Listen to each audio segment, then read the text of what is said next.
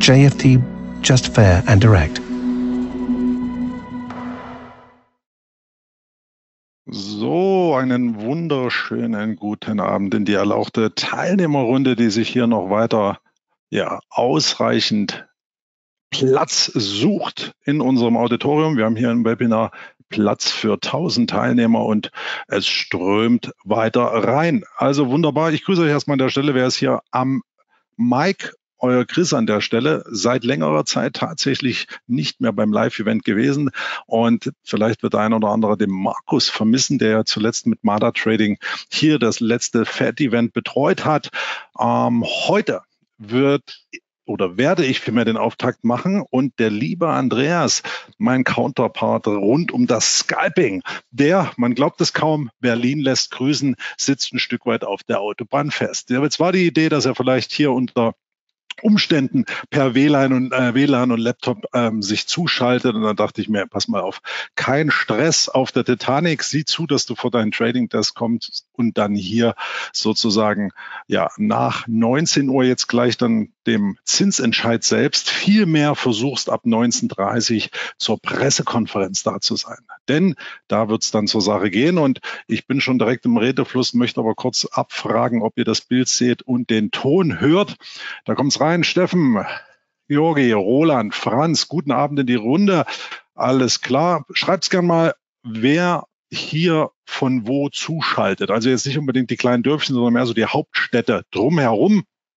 Also an der Stelle äh, einfach mal ein Feedback geben, wo ihr herkommt und dann praktisch tun. Äh, ich sehe schon, der Chat wird reichlich gefüllt. Tonbild, okay, alles wunderbar, super. Also, wie gesagt, ich bin ja so ein Stück weit raus aus dem Skype-Trading, habe aber trotzdem meine MetaTrader-Maschine schon mal angeworfen. Ihr wisst es, ich selbst, Chris Kämmerer, bin hier im Forex- und Edelmetall-Markt aktiv. Ich hatte unlängst den Goldpreis schon einge äh, nordet, will ich fast sagen. Euro-Dollar heute gerade auch analysiert mit einem interessanten Setup aller Rainbow Trading, da gehe ich dann noch ein Stück weit drauf ein, aber die Thematik heute ist natürlich die Leute Fed Event. Hey, es könnte nicht spannender sein. Ja, was, was, was blüht hier auf dem Horizont auf? Haben wir einerseits die nächste Finanzkrise ähm, wenn denn hier die Notenbanken nicht intervenieren, beziehungsweise eben wieder Gelder in den Markt pumpen, ähm, wenn sie es nicht tun. Wenn sie es tun, haben wir wieder diese Inflationsproblematik und ihr werdet um die Bilanzsummen der Notenbanken wissen, insbesondere der US-Notenbank, die hier praktisch nach dem Rückrudern in den letzten anderthalb, zwei Jahren ähm, sozusagen innerhalb von wenigen Tagen die halbe Bilanzsumme wieder aufgebläht hat. Wir sind also ein Stück weit wieder zurück auf Los und die Frage wird letztendlich sein, hey, was wird heute entschieden? Zinsschritt anzunehmen, wie wir gleich sehen werden. Findet kein Zinsschritt statt, ist das vielleicht ein Riesenmisstrauen an die Märkte nach dem Motto, hui, hui, hui, es ist doch kritischer als sozusagen hier beispielsweise unlängst auch unser lieber Ex-Finanzminister und jetzt Bundeskanzler Olaf Scholz ähm, in, im Rahmen der Finanzaufsicht äh, Deutschlands und Europa dann natürlich predigte, hier die deutschen Banken haben da überhaupt kein Problem. Da muss ich ja ein Stück weit vom Stuhl fallen, weil sollte zum Beispiel eine Großbank ins Wanken geraten, dann ist das natürlich ein Dominoeffekt. Und da stellen wir mit unseren deutschen Banken tatsächlich hinten dran, weil wir haben uns irgendwo so ein Stück weit gesund geschrumpft seit der Finanzmarktkrise, aber die Credit Suisse zum Beispiel hat das nicht getan. Ähm, lasst uns aber da nicht zu vielfältig jetzt ähm, ausstrahlen. Erstmal schön, dass ihr dabei seid. Jetzt äh, geht der Teilnehmerkreis weiter nach oben, aber es ist ja so, dass erst 19 Uhr die Zinsentscheidung fällt und dann hinten raus natürlich, ja, die Trading Action dann auch beginnt. Ich bin ja einer, der mal sagt, hey, lass erstmal 15 Minuten den Staub ähm, dahin gehen, äh, ohne vorab jetzt in den Markt zu springen, hängt natürlich auch damit zusammen, liebe Leute, dass zur Entscheidung selbst Liquidität austrocknet. Ja, viele denken immer, das ist ähnlich wie in so einem, äh, ich sag mal, Spielcasino. Ne? Die Preise, die da zu sehen sind, die kriege ich jederzeit ausgeführt. Hier muss man aber aufpassen, dass die Illiquidität rund um die Events immer dann sehr zunehmen und da eben auch solche äh, schlechteren Ausführungen nicht mal irgendwie absichtlich von Brokern sind, auch das soll es ja geben, aber grundsätzlich ist das eben auch marktbedingt. Deswegen warte ich gern äh, gute 15 Minuten ab die akademische Viertelstunde, um zu sehen, was der Markt dann macht. Also insofern lasst uns rein starten. Ähm, erstmal, ich sehe mal, ich muss jetzt echt mal hochscrollen, wir haben wirklich von der Ostsee bis nach Niederösterreich, über Baden-Württemberg, Stuttgart, Hamburg, Nürnberg, Magdeburg, Dresden. Wir haben sogar Zypern dabei. Ganz, ganz liebe Grüße. Bamberg, Wunderbayer, Wunderbayer sag ich schon, Nürnberg dabei, Regensburg, Super. Ich muss mir heute noch meinen Döner mit dem Silber verdienen. Steffen, erst long. Ja, heiße Geschichte. Gold ist ja auch ganz klar in dem Tenor, wo ich jetzt einfach mal mit den Slides weitermachen werde. Hier, wie gesagt, Andreas kommt gleich dazu, Leute. Für alle die jetzt ungefähr nochmal 70 Leute mehr als vor ungefähr fünf Minuten. Ähm, Andreas kommt dazu, skypt für euch wahrscheinlich Dow Jones und den Nasdaq. Ich, wie gesagt, schau mal entspannt, ob ich mein Entry beim Euro-Dollar kriege. Das werde ich jetzt ein Stück weit ableiten. Gold bin ich eh investiert, sowohl physisch als auch Trading ambitioniert. Darauf gehen wir dann gleich ein. Und da sind wir jetzt hier auch beim Slide. Leute, wir sind hier beim Live-Trading, Schrägstrich Live-Event. Und wenn ich jetzt hier irgendwie abfeuere oder auch Trading-Ideen, ja, ich sag's mal, darbiete, bekannt gebe, vielleicht sogar auch direkt live durchführe, dann sind das niemals Handelsempfehlungen, Leute. Ihr handelt alle auf eigenes Risiko, gerade am Devisenmarkt können oder auch am CFD-Markt generell wird mit einem Hebel gearbeitet und der Hebel geht nicht immer nur in die richtige Richtung, kann auch gegen einen laufen. Deswegen weniger ist hier oft mehr. Haltet euer Risiko in dem Griff und handelt so, dass ihr auch vernünftig am Markt agiert und setzt nicht alles auf eine Karte oder Blackjack-mäßig. Das will ich nur noch mal gesagt haben. JFD für euch der perfekte Marktzugang an der Stelle. Und da sind wir auch jetzt noch mal direkt beim Zins-Event, denn es wird ja davon ausgegangen, und das sah vor ein paar Wochen noch ganz, ganz anders aus, dass jetzt eben hier der Zinsschritt, wir sind hier in der aktuellen Rate von 4,5 bis 4,75. Da sehen wir hier diese Zinsentwicklung, ja, die US-Notenbank ist dem Ganzen noch ein voraus nach oder im Kontext der EZB wird jetzt spannend sein zu beobachten, weil die EZB hat ja unlängst vor wenigen Tagen, also in der letzten Woche speziell ja nochmal 0,5 draufgelegt. Und das ist das, warum der Euro auch so abgeht, weil die mögliche Versuchung die ist, dass die US-Notenbank jetzt eben diesen Zinsschritt, der hier orakelt wird, wir sind jetzt hier bei 83 Prozent aktuell, das 0,25 Basispunkte, das hochgesetzt wird, um die Märkte einerseits ein Stück zu beruhigen, andererseits aber auch nicht nochmal 0,5 draufzusetzen, weil natürlich diese ganze Zinsanleihe und Kreditthematik das Damoklesschwert ist für die Märkte. Also an der Stelle hochgradig spannend. Jetzt haben wir hier aber auf jeden Fall erstmal die Situation. Ich will euch das Bild nochmal zeigen.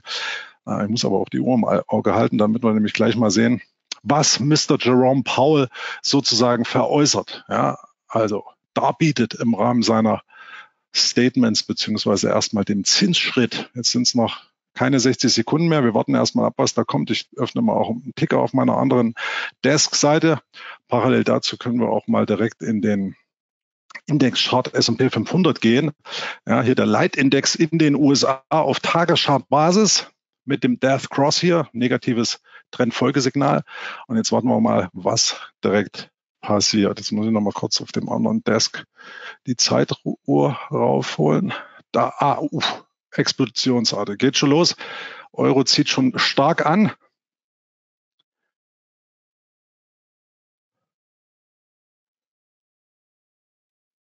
So, jetzt klingelt es gleich im Gebäck. Jetzt haben wir es 1900 Sekunden. Jetzt muss ich nochmal meinen mein Realtime-Ticker aktualisieren.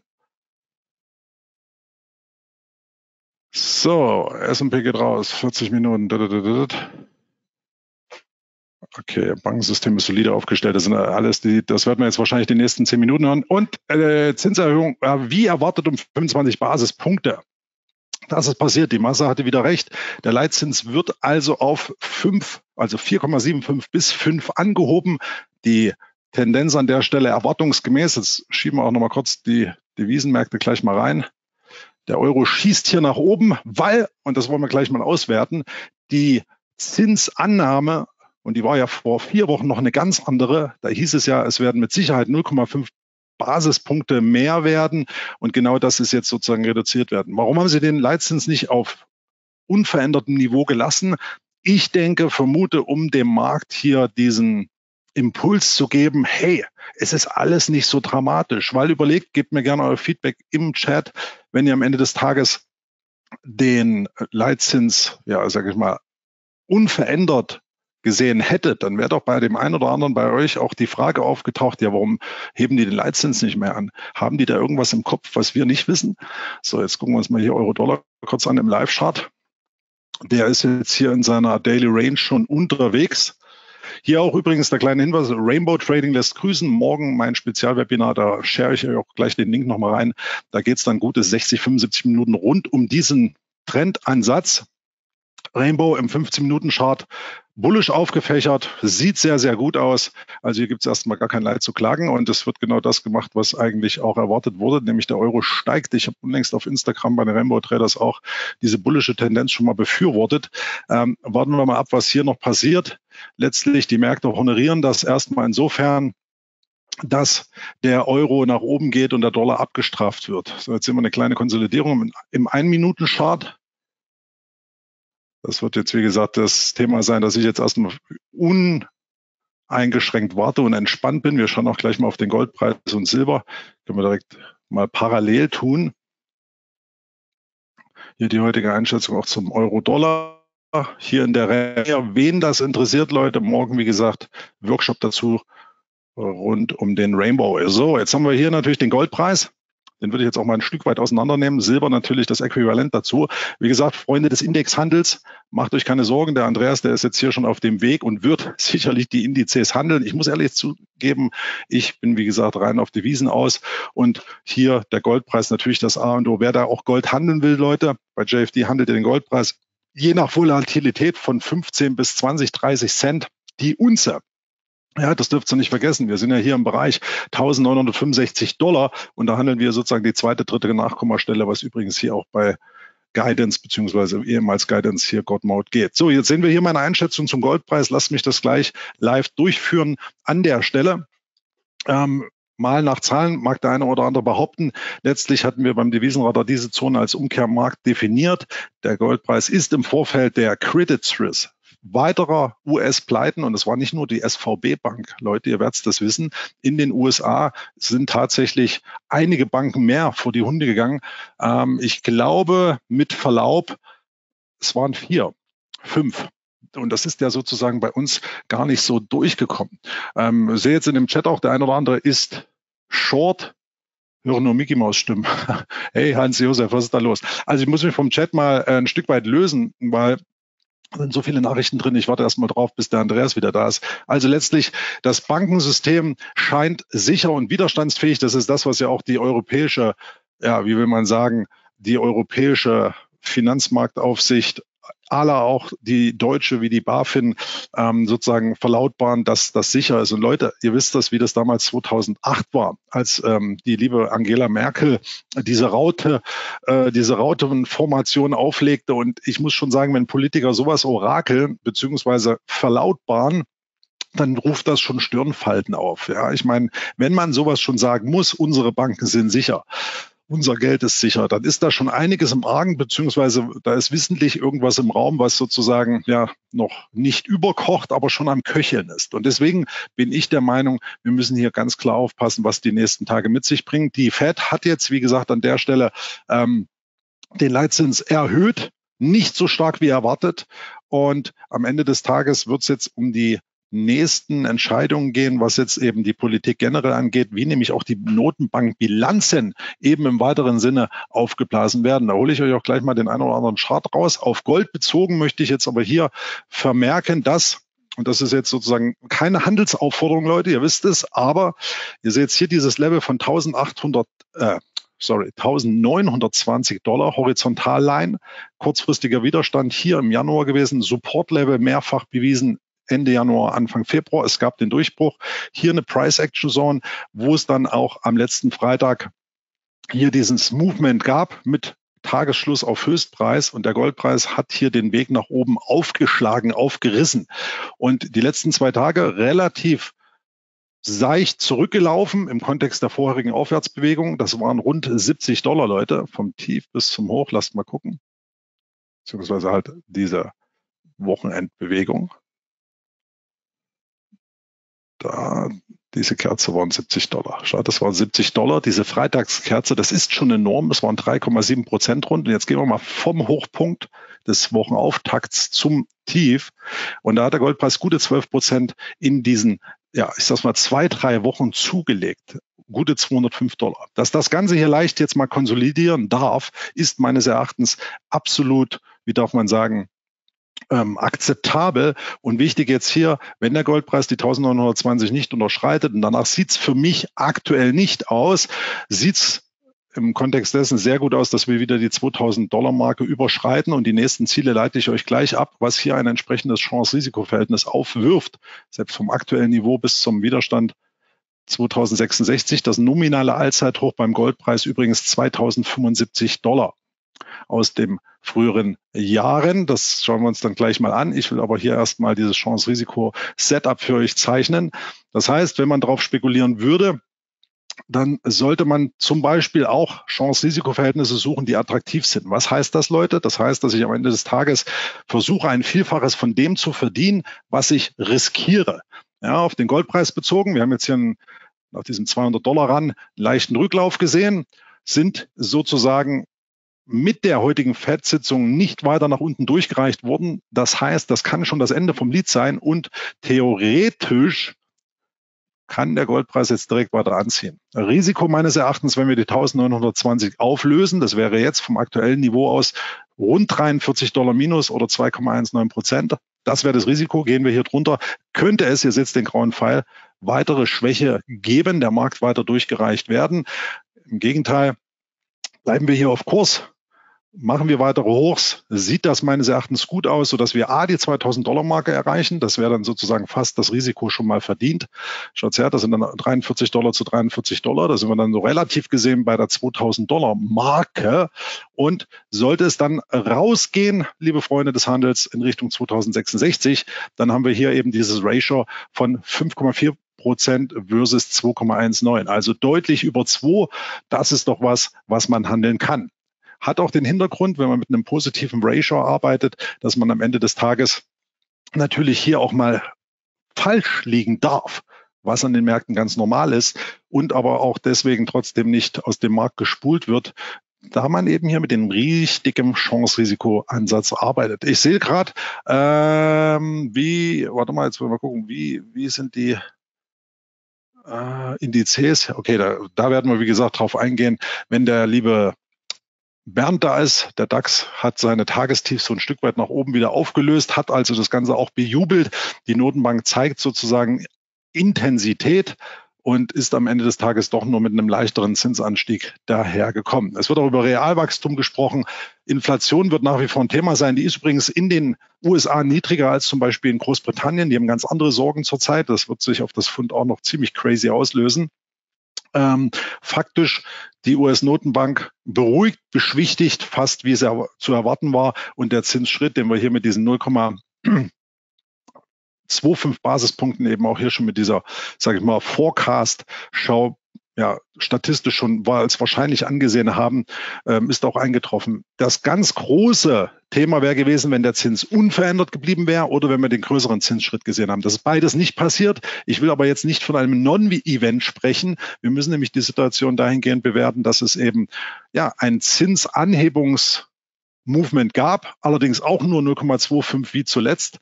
Und da kann man ja hier bei den Zinsentscheidungen auch schön ableiten, wann dann zum Beispiel eben auch die USA in der Vergangenheit hier die Zinsschraube sozusagen gedreht hat. Und hier gab es eben im Februar zuletzt die plus 0,25 und jetzt haben wir hier, das ist jetzt noch nicht Realtime aktualisiert, aber dann heute mit dem 22.3. eben dann wieder so ein kleines Stück nach oben geschraubt und die Zinsschritte werden kleiner. Das bringt hier in dieser Euro-Dollar-Zinsdifferenz eben den Vorteil, dass hier der Euro weiter aufmarschiert und hier natürlich auch der Euro weiter steigen könnte, auf den ich übrigens dann gleich eingehen werde.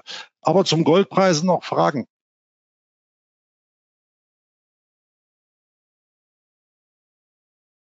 Wenn keine Fragen sind, gehe ich dann direkt weiter im Sortiment des klassischen Handels. Möchte ich auch dann nochmal den ganz großen Chart vom Goldpreis rüberbringen. Wir jetzt mal gucken, Moment, dann ziehe ich mal den Rohstoffdesk rüber. Da möchte ich euch nämlich auch das große Bild, weil ich die Frage gelesen hatte, dass sozusagen und da verzeiht es mir, dass ich jetzt noch nicht auf die Indizes rumreite. Da wird der liebe Andreas gleich zur Genüge sein, seinen Senf zu geben. Ähm, hier haben wir die Rohstoffe. Platin, alles zieht nach oben. So, jetzt laden wir mal das Big Picture vom Gold ein. Ich mache jetzt hier auch nicht den MetaTrader direkt auf, weil ich hier auf Stock 3 besser zeichnen kann, beziehungsweise die Charts besser zu visualisieren und zu zeichnen sind. So, da haben wir das an der Stelle. So, Goldpreis bis in die 90er zurück, soweit brauchen wir es gar nicht. So, wir sehen hier ein ganz großes Bild und dann will ich auch beim Goldpreis dann abschließen. Den Goldpreis im Monatschart, Freunde. Wir haben hier diese Untertassenformation aus dem früheren Höchststand 2011 bis zur ja, bis zum Turnaround des Jahres 2019, 20 gesehen. Wir sehen hier diese, warum der Name Untertasse, das ist halt hier diese Bodenbildung, großes Trendwendemuster, was dann sogar regelkonfirm und eine Untertasse hat ja in der Regel den passenden Henkel, was dann sogar hier tatsächlich regelkonform in eine, ja, ich sag's mal, Henkelformation überging. Und dann geschah das, was eigentlich hochgradig bullisch war. Der Goldpreis brach Anfang 2022 aus, aus dieser Konsolidierungsphase. Könnte man auch so eine kleine bullische Flagge ableiten.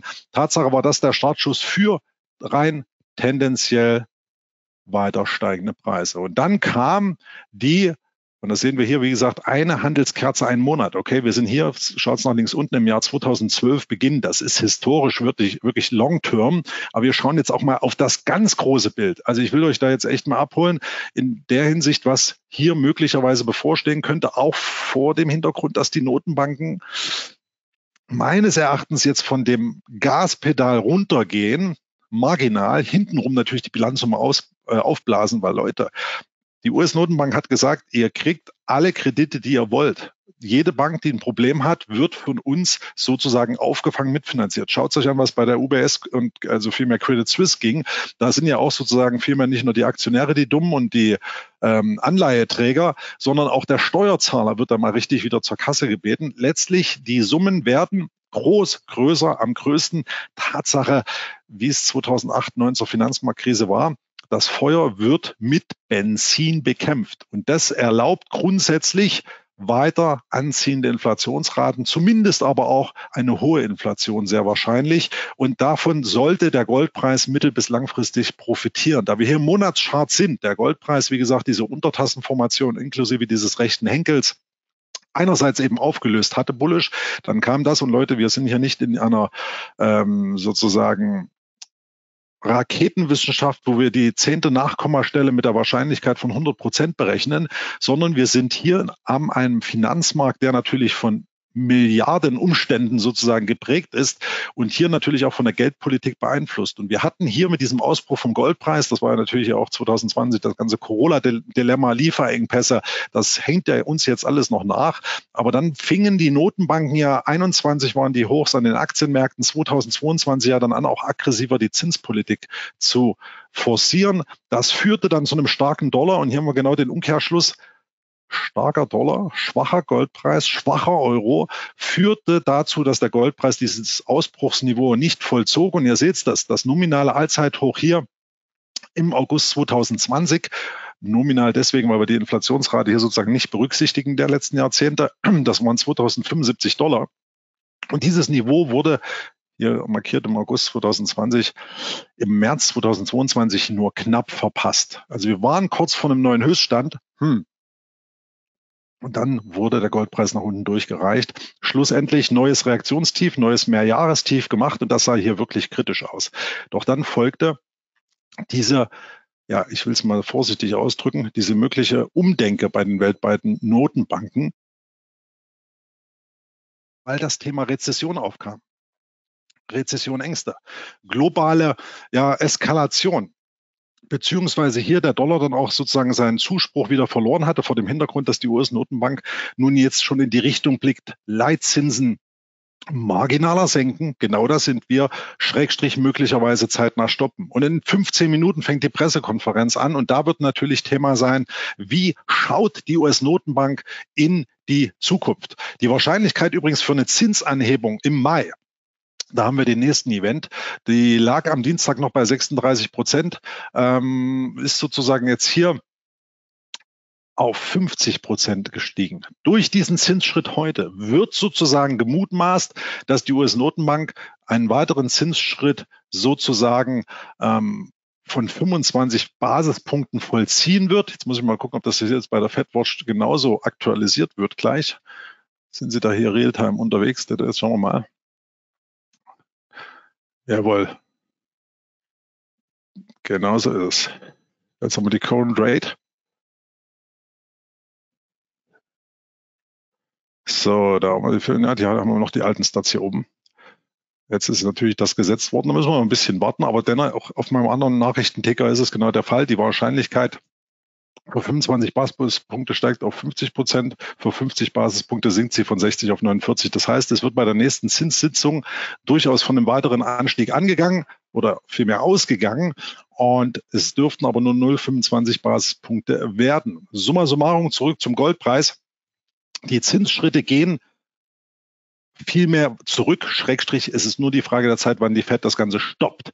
Sollte noch mal eine Bank eskalieren in den USA, dann wird wieder Geld in den Markt gepumpt, ohne den Leitzins jetzt beeinflusst zu wissen.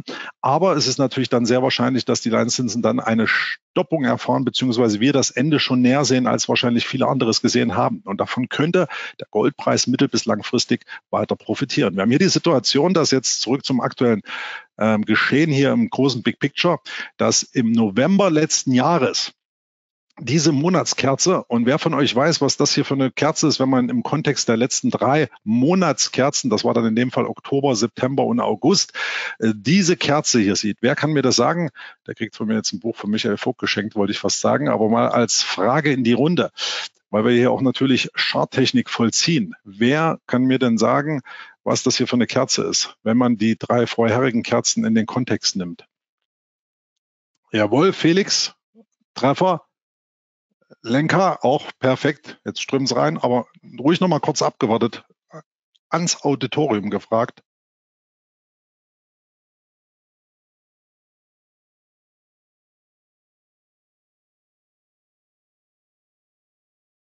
Hey, lieber Felix, das Buch kann ich dir definitiv organisieren, wenn du es noch nicht hast.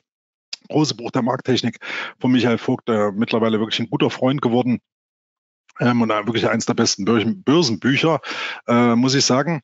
Äh, Niki schreibt Umkehrkerze. Die letzten beiden Kerzen sind ein Bullish Engulfing. Okay, das ist erstmal hier richtig, aber auf die Sache bezogen, da habe ich auch ein Slide für euch. Witzigerweise ist das übrigens jetzt ein kleiner Einblick morgen in meine Webinar-Session. Ich hole euch das mal vor, denn dieses Bullish Engulfing ist tatsächlich eine Kerzenformation, die tatsächlich statistisch auch weiter steigende Preise forcieren lässt. Jetzt muss ich mal gucken, Bullish Engulfing ab aktueller Folie, da haben wir es.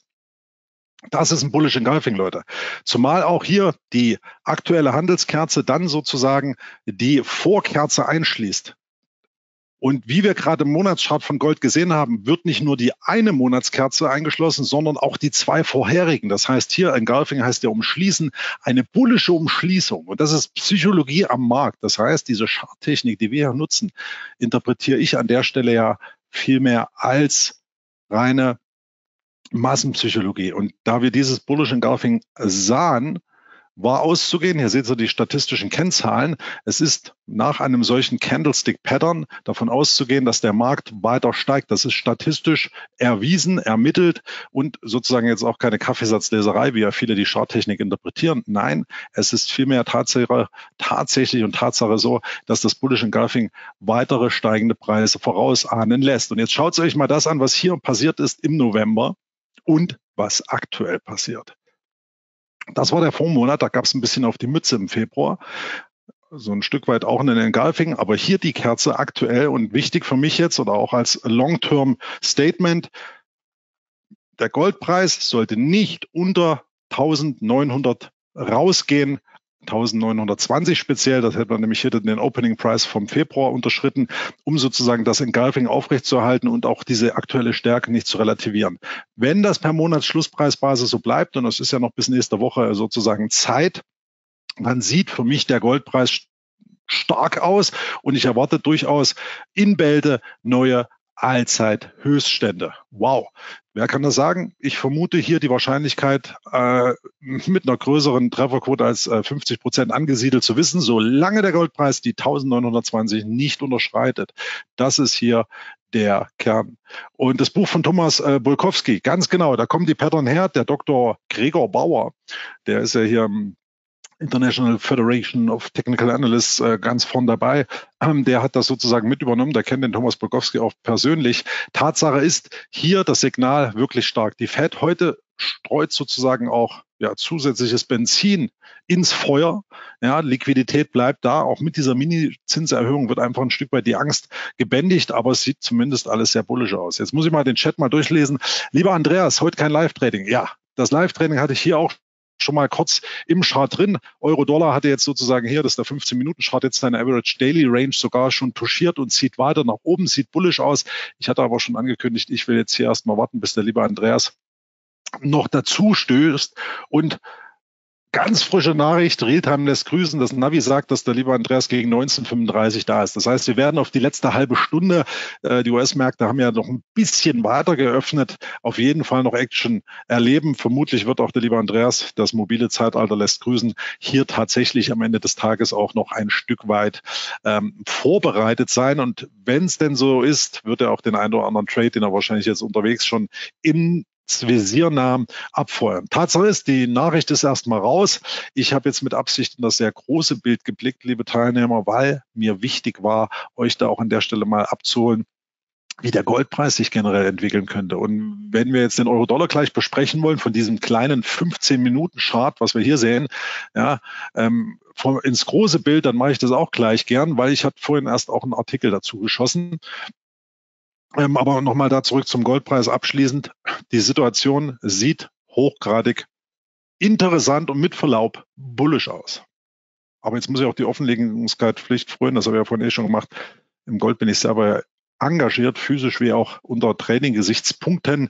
Insofern abwarten, was passiert, wenn der Markt jetzt nicht irgendwie einen Kollateralschaden bekommt. Man stelle sich jetzt vor, bei der Pressekonferenz in den nächsten sieben Minuten heißt es dann plötzlich, hoppala, wir drehen jetzt doch mal das Rad richtig auf oder Moment, wir mh, hm, drücken jetzt doch wieder aufs Gaspedal bei den nächsten Zinsanhebungen. Das wird jetzt, wie gesagt, spannend sein. Die Pressekonferenz ist jetzt nochmal das i-Tüpfelchen, weil der Zinsschritt ist wie erwartet.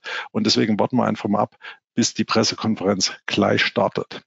So, gern geschehen. Du musst dich nicht entschuldigen, Andreas. Ähm, hier darf jeder seinen Beitrag leisten. Und natürlich, normalerweise hüpft der liebe Andreas schon mit seinem Nasdaq 100 oder Dow Jones äh, CFD umeinander. Ich wollte heute das einfach mal anders gestalten. Die Marder Trading Jungs hatten ja an der Stelle auch heute ein eigenes Event geplant. Ich bin aber trotzdem froh, dass wir hier hoch dreistellig unterwegs sind. Die 1000 Teilnehmermarke haben wir jetzt nicht geknackt, aber ich bin sehr zufrieden, dass so viele Teilnehmer uns hier die Treue halten und ich will hoffen, ich konnte euch ein Stück weit mitnehmen auf der Goldreise. Gebt mir gerne Feedback, wenn euch was gefehlt hat oder ihr noch Fragen habt, bitte reinhauen. Ähm, weil ich jetzt, wie gesagt, allein bin und hm, keine Ahnung, wie viele Fragen jetzt in dem Chat sind. Das sind bestimmt 100. Also neben dem, dass ich ja abgefragt habe, äh, woher der ein oder andere kommt und die Teilnehmerquote natürlich da, ähm, ja, immer relativ, mh, hm, wie sagt man, es gibt so viele stille Leser, okay? Da, wird, also kannst du jetzt 1000 Zuschauer haben und sagst so, jetzt bitte mal jeder einen Beitrag abgeben. Da werden maximal weiß nicht, 150, 200 Leute ihr Statement abgeben, weil man eben sagt, man hält sich zurück. Aber das Webinar lässt natürlich Interaktionen zu durch den Chat, durch den generellen ähm, sage ich mal, Interaktionspart. Ähm, ich könnte jetzt auch meine Cam noch anschalten, wie das sage ich die ganzen Gamer machen, aber das ist jetzt völlig verpasst, weil wie gesagt die Ansage vom Andreas dann eben kurz vorm Beginn war, äh, Chris, sorry, ich schaff's nicht pünktlich, Stau und so. Okay, das ist Leben in der Lage, da müssen wir uns als Trader natürlich auch ganz klar mit sondieren. So, also Goldpreis haben wir gesprochen, Feedback, danke an der Stelle. Super, dass ihr das ähm, so akzeptiert, wie ich das heute hier mache, weil ihr kennt sonst die Events, da wird hier im fünf oder ein Minuten Chart umgeskypt. Ähm, ist nicht mein Fokus. Hatte ich früher auch mal diese Phase.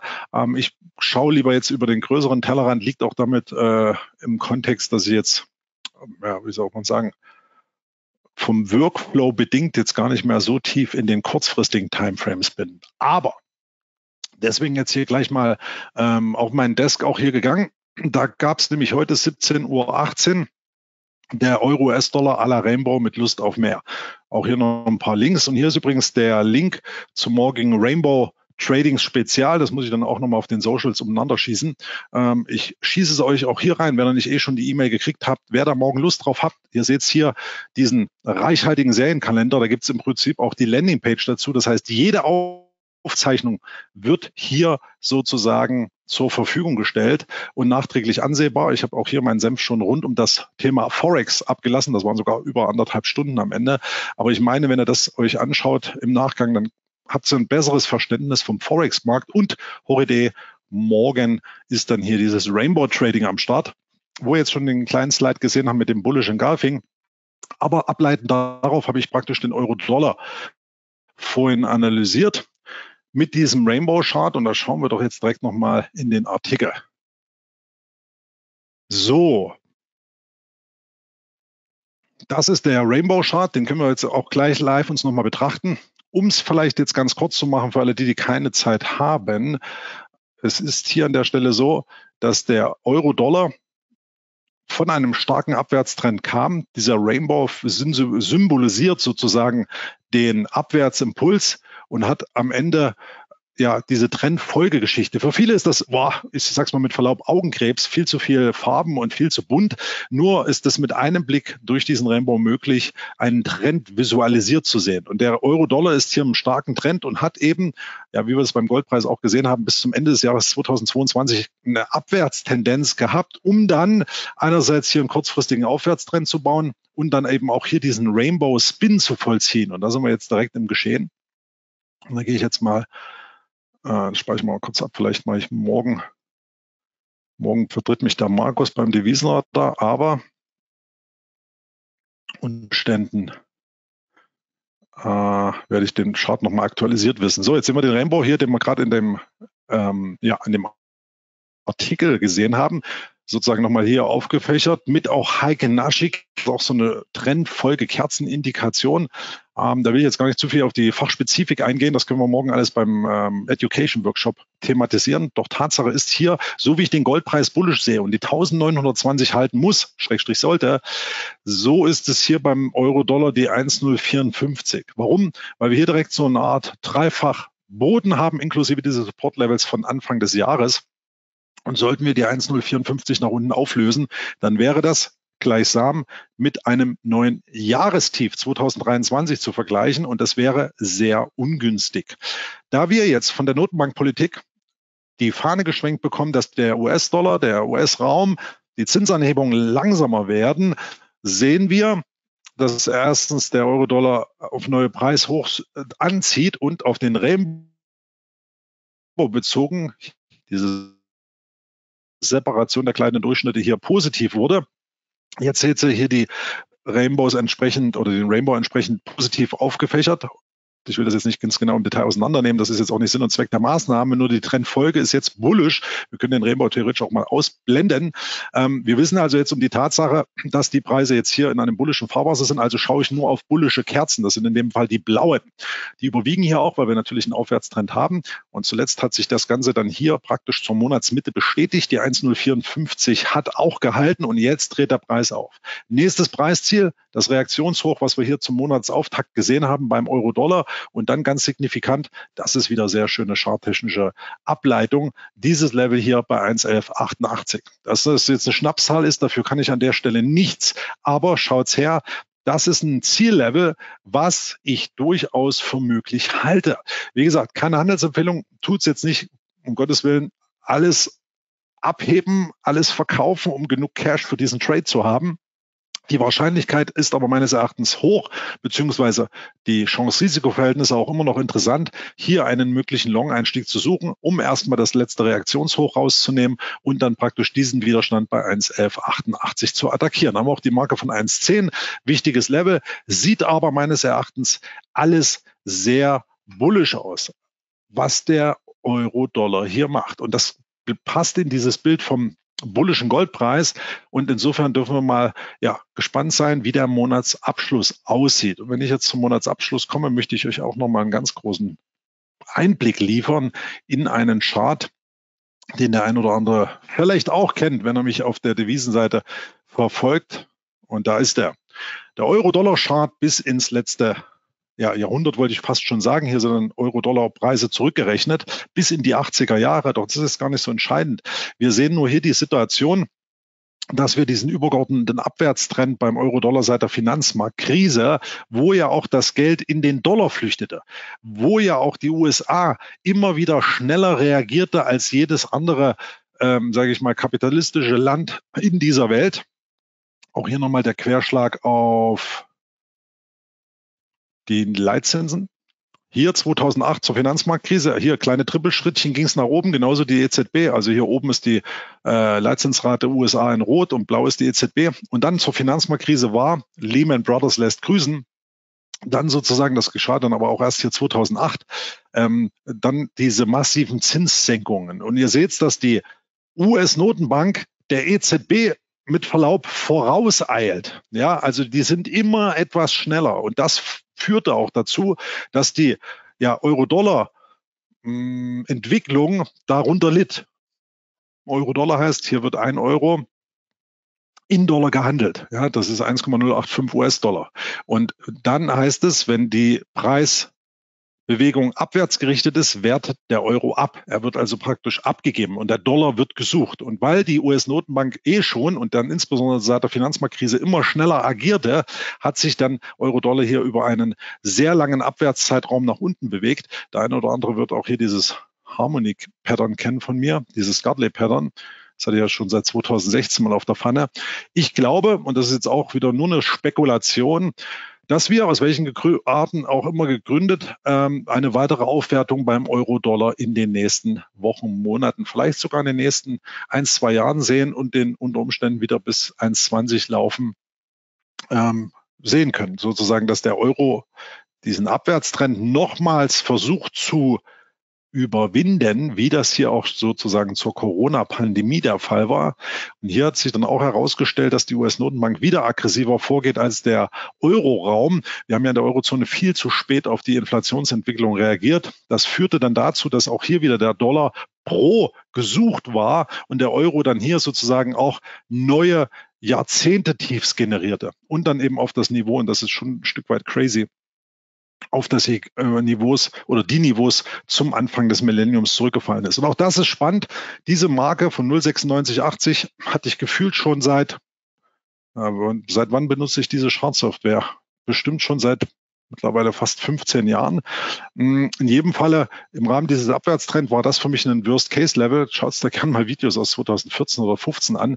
Da ist die Linie tatsächlich schon drin.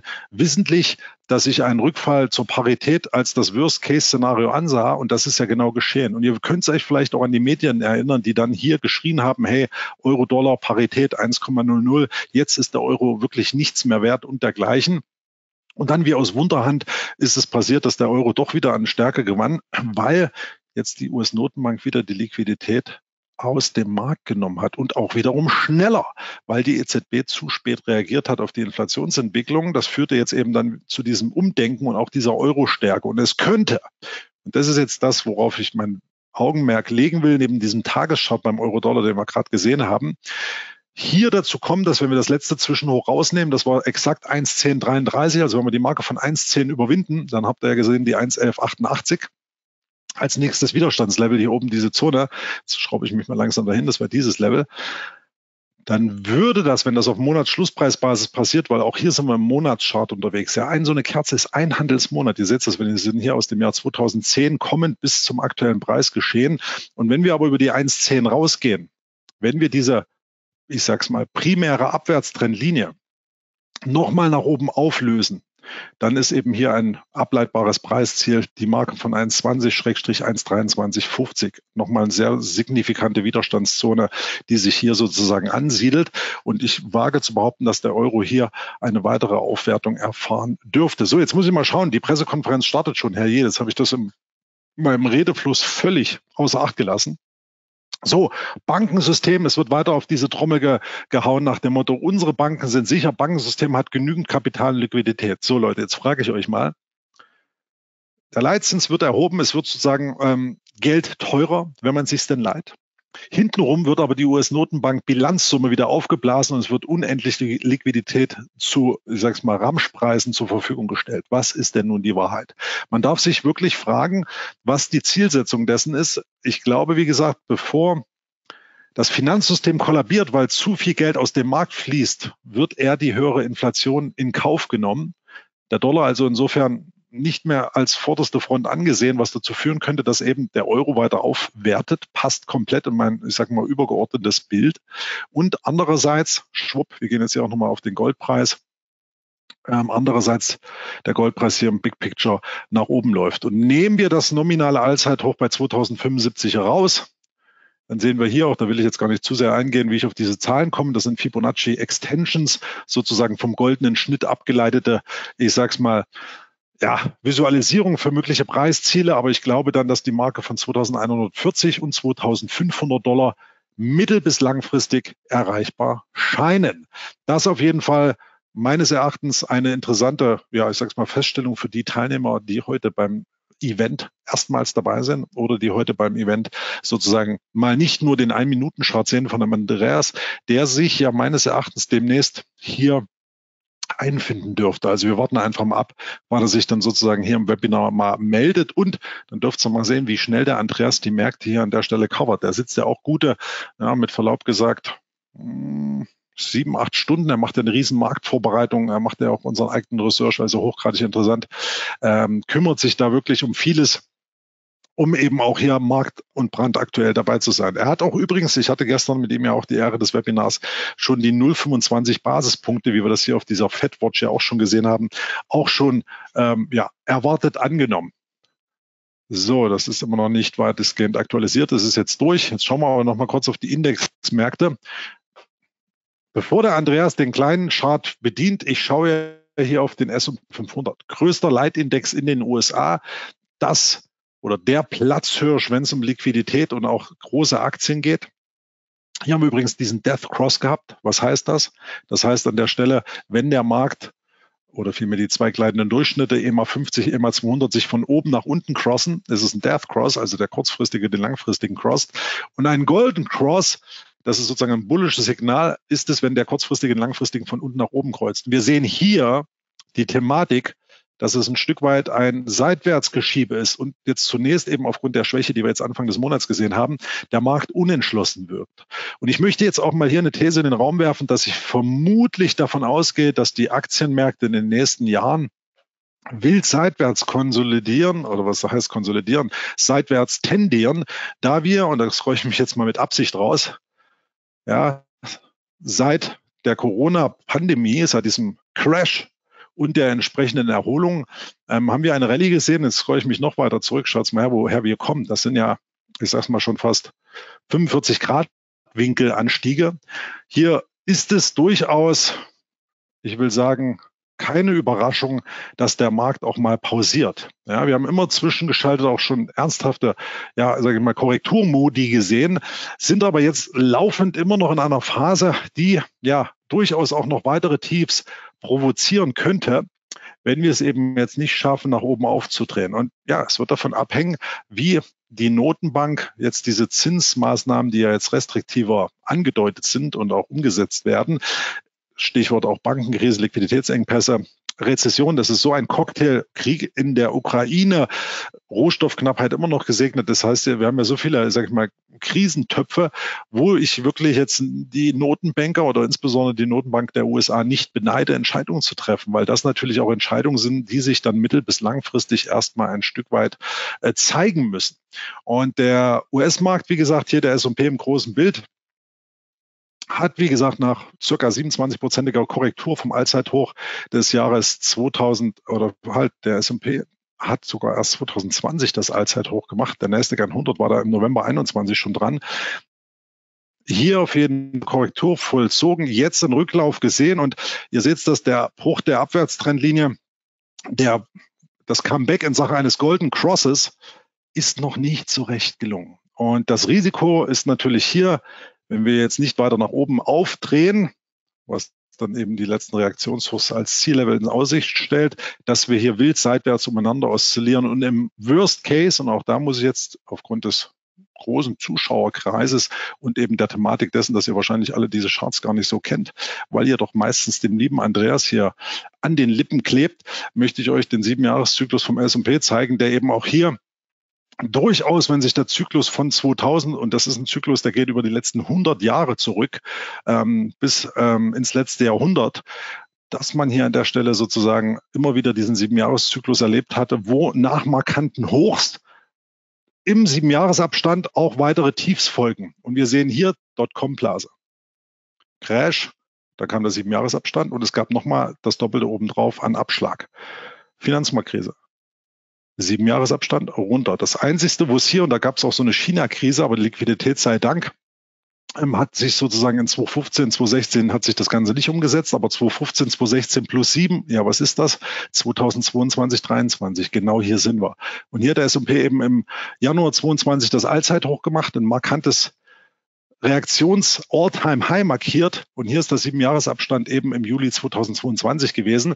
Und wir sehen jetzt hier anhand des Charts, dass wir noch gar nicht so weit zurückgekommen sind. Soll heißen, wenn das jetzt abwirkt, also diese Erholung, die wir jetzt in den letzten Monaten gesehen haben, auch jetzt hier, das ist wie gesagt der Monatschart, ganz großes Bild. Aber die Erholung, die wir hier seit Oktober gesehen haben, wenn die jetzt sich nicht weiter fortsetzt, ist das Risiko gegeben und das sind die Marken gleich dem ganz großen Chart, dass wir vor, ähm, hoch sage ich schon, das Tief vom Oktober rausnehmen könnten und der S&P in Richtung 3240, 3250 Punkten fallen kann. Das heißt, dass es hier nochmal mit der groben Kelle für alle Aktien gibt, sofern der Markt jetzt hier nicht wieder aufdreht. Und das wird natürlich impulstechnisch von den nächsten Inflationsdaten, von den nächsten Bankmeldungen und natürlich auch vom Liquiditätsgebaren der Notenbanken, äh, sage ich mal, abhängig sein.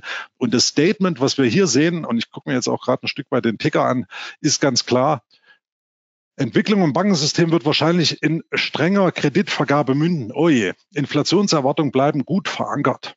Aktivität am Häusermarkt bleibt aufgrund höherer Zinsen schwach. Ein Riesenthema, wo man sagen muss, ähm, es wird kritisch. Jetzt kommt noch gerade ein Statement. Paul, das ist der US-Notenbankchef, ähm, haben eine Pause in Erwägung gezogen, also eine Zinsschrittpause. Ich glaube ganz sicher, diese Pause haben sie mit heute nie oder mit dem heutigen Tag nicht vollzogen, weil die Angst im Raum stand, wenn die US-Notenbank statt einer 0,5 Basispunkte Anhebung auch keine 0,25 macht, sondern gar keine, wäre das Vertrauen ins System und nichts anderes ist unser Finanzsystem. Wir vertrauen unserem Geldschein, der ja per se eigentlich wertlos ist, beziehungsweise wir vertrauen, vertrauen den Geldhütern, den Notenbanken. Und wenn dieses Vertrauen schwindet, dann ist das natürlich ein absolutes Desaster. Und hätten sie die Leitzinsen nicht angehoben, glaube ich, hätte sich das rächen können. So, warte mal, jetzt blickert's rein. Der liebe Andi ist da. Na meine Güte, das ist ja eine Unglaublichkeit. Jetzt muss ich mal schauen, dass ich den Andreas finde.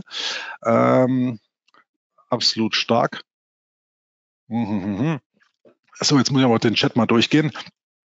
Wann kommt die Aufnahme vom Andreas Bernstein Day Trading Chancen im DAX? Ah, lieber George, du meinst bei der Serie Trade mit kleinem Konto, das mag an unserer Marketingabteilung liegen, die dieses Video mal konvertieren und modellieren. Die Mail, wenn du dich angemeldet hast zum Traden mit kleinem Konto, geht zeitnah raus. So, der Andreas ist gleich da. Jetzt habe ich natürlich so viel Saft hier eingeschenkt. Ich hoffe, ähm, ihr seid immer noch wach und da. Grundsätzlich ist es A schon spät und B habe ich das schon ewig nicht mehr gemacht, äh, einen langen Event am Abend ähm, sozusagen vollzogen. Das habe ich eigentlich vor zehn Jahren war das eigentlich mein, mein Daily Business, will ich fast sagen. Ähm, und ich sehe, Kuckuck, lieber Andreas, ruft da rein. Ja, schau mal, Mensch, da, die, die Gilde Andreas ist schon da. Jetzt gucke ich mal, dass ich dich zum Moderator mache. Ähm, ich hoffe, du hast schon einen Espresso getrunken, äh, die Schnabeltasse mit Wasser neben dir stehen und deine Systeme hochgefahren. Ähm, jetzt muss man mal sehen, mach mal nur Mikro. Jetzt gucken wir mal, dass ich dich auf jeden Fall erstmal tonlich dazu kriege. So, Mike ist an. Andreas, bist du wohl angekommen zu Hause? Hi Chris, äh, pünktlich zur FED-Sitzung. Bereiten wir uns mal vor oder, oder war schon was? Ah, Sommerzeit vergessen, mein lieber Andreas. Theoretisch ist es 1950, aber Obacht geben, es war schon vor einer Stunde die erwartete Leitzinsanhebung. Das wirst du aber mitbekommen haben, ne? Ja, ja, so halb habe ich mitgekriegt. Wo sollte nur ein Scherz sein, tatsächlich.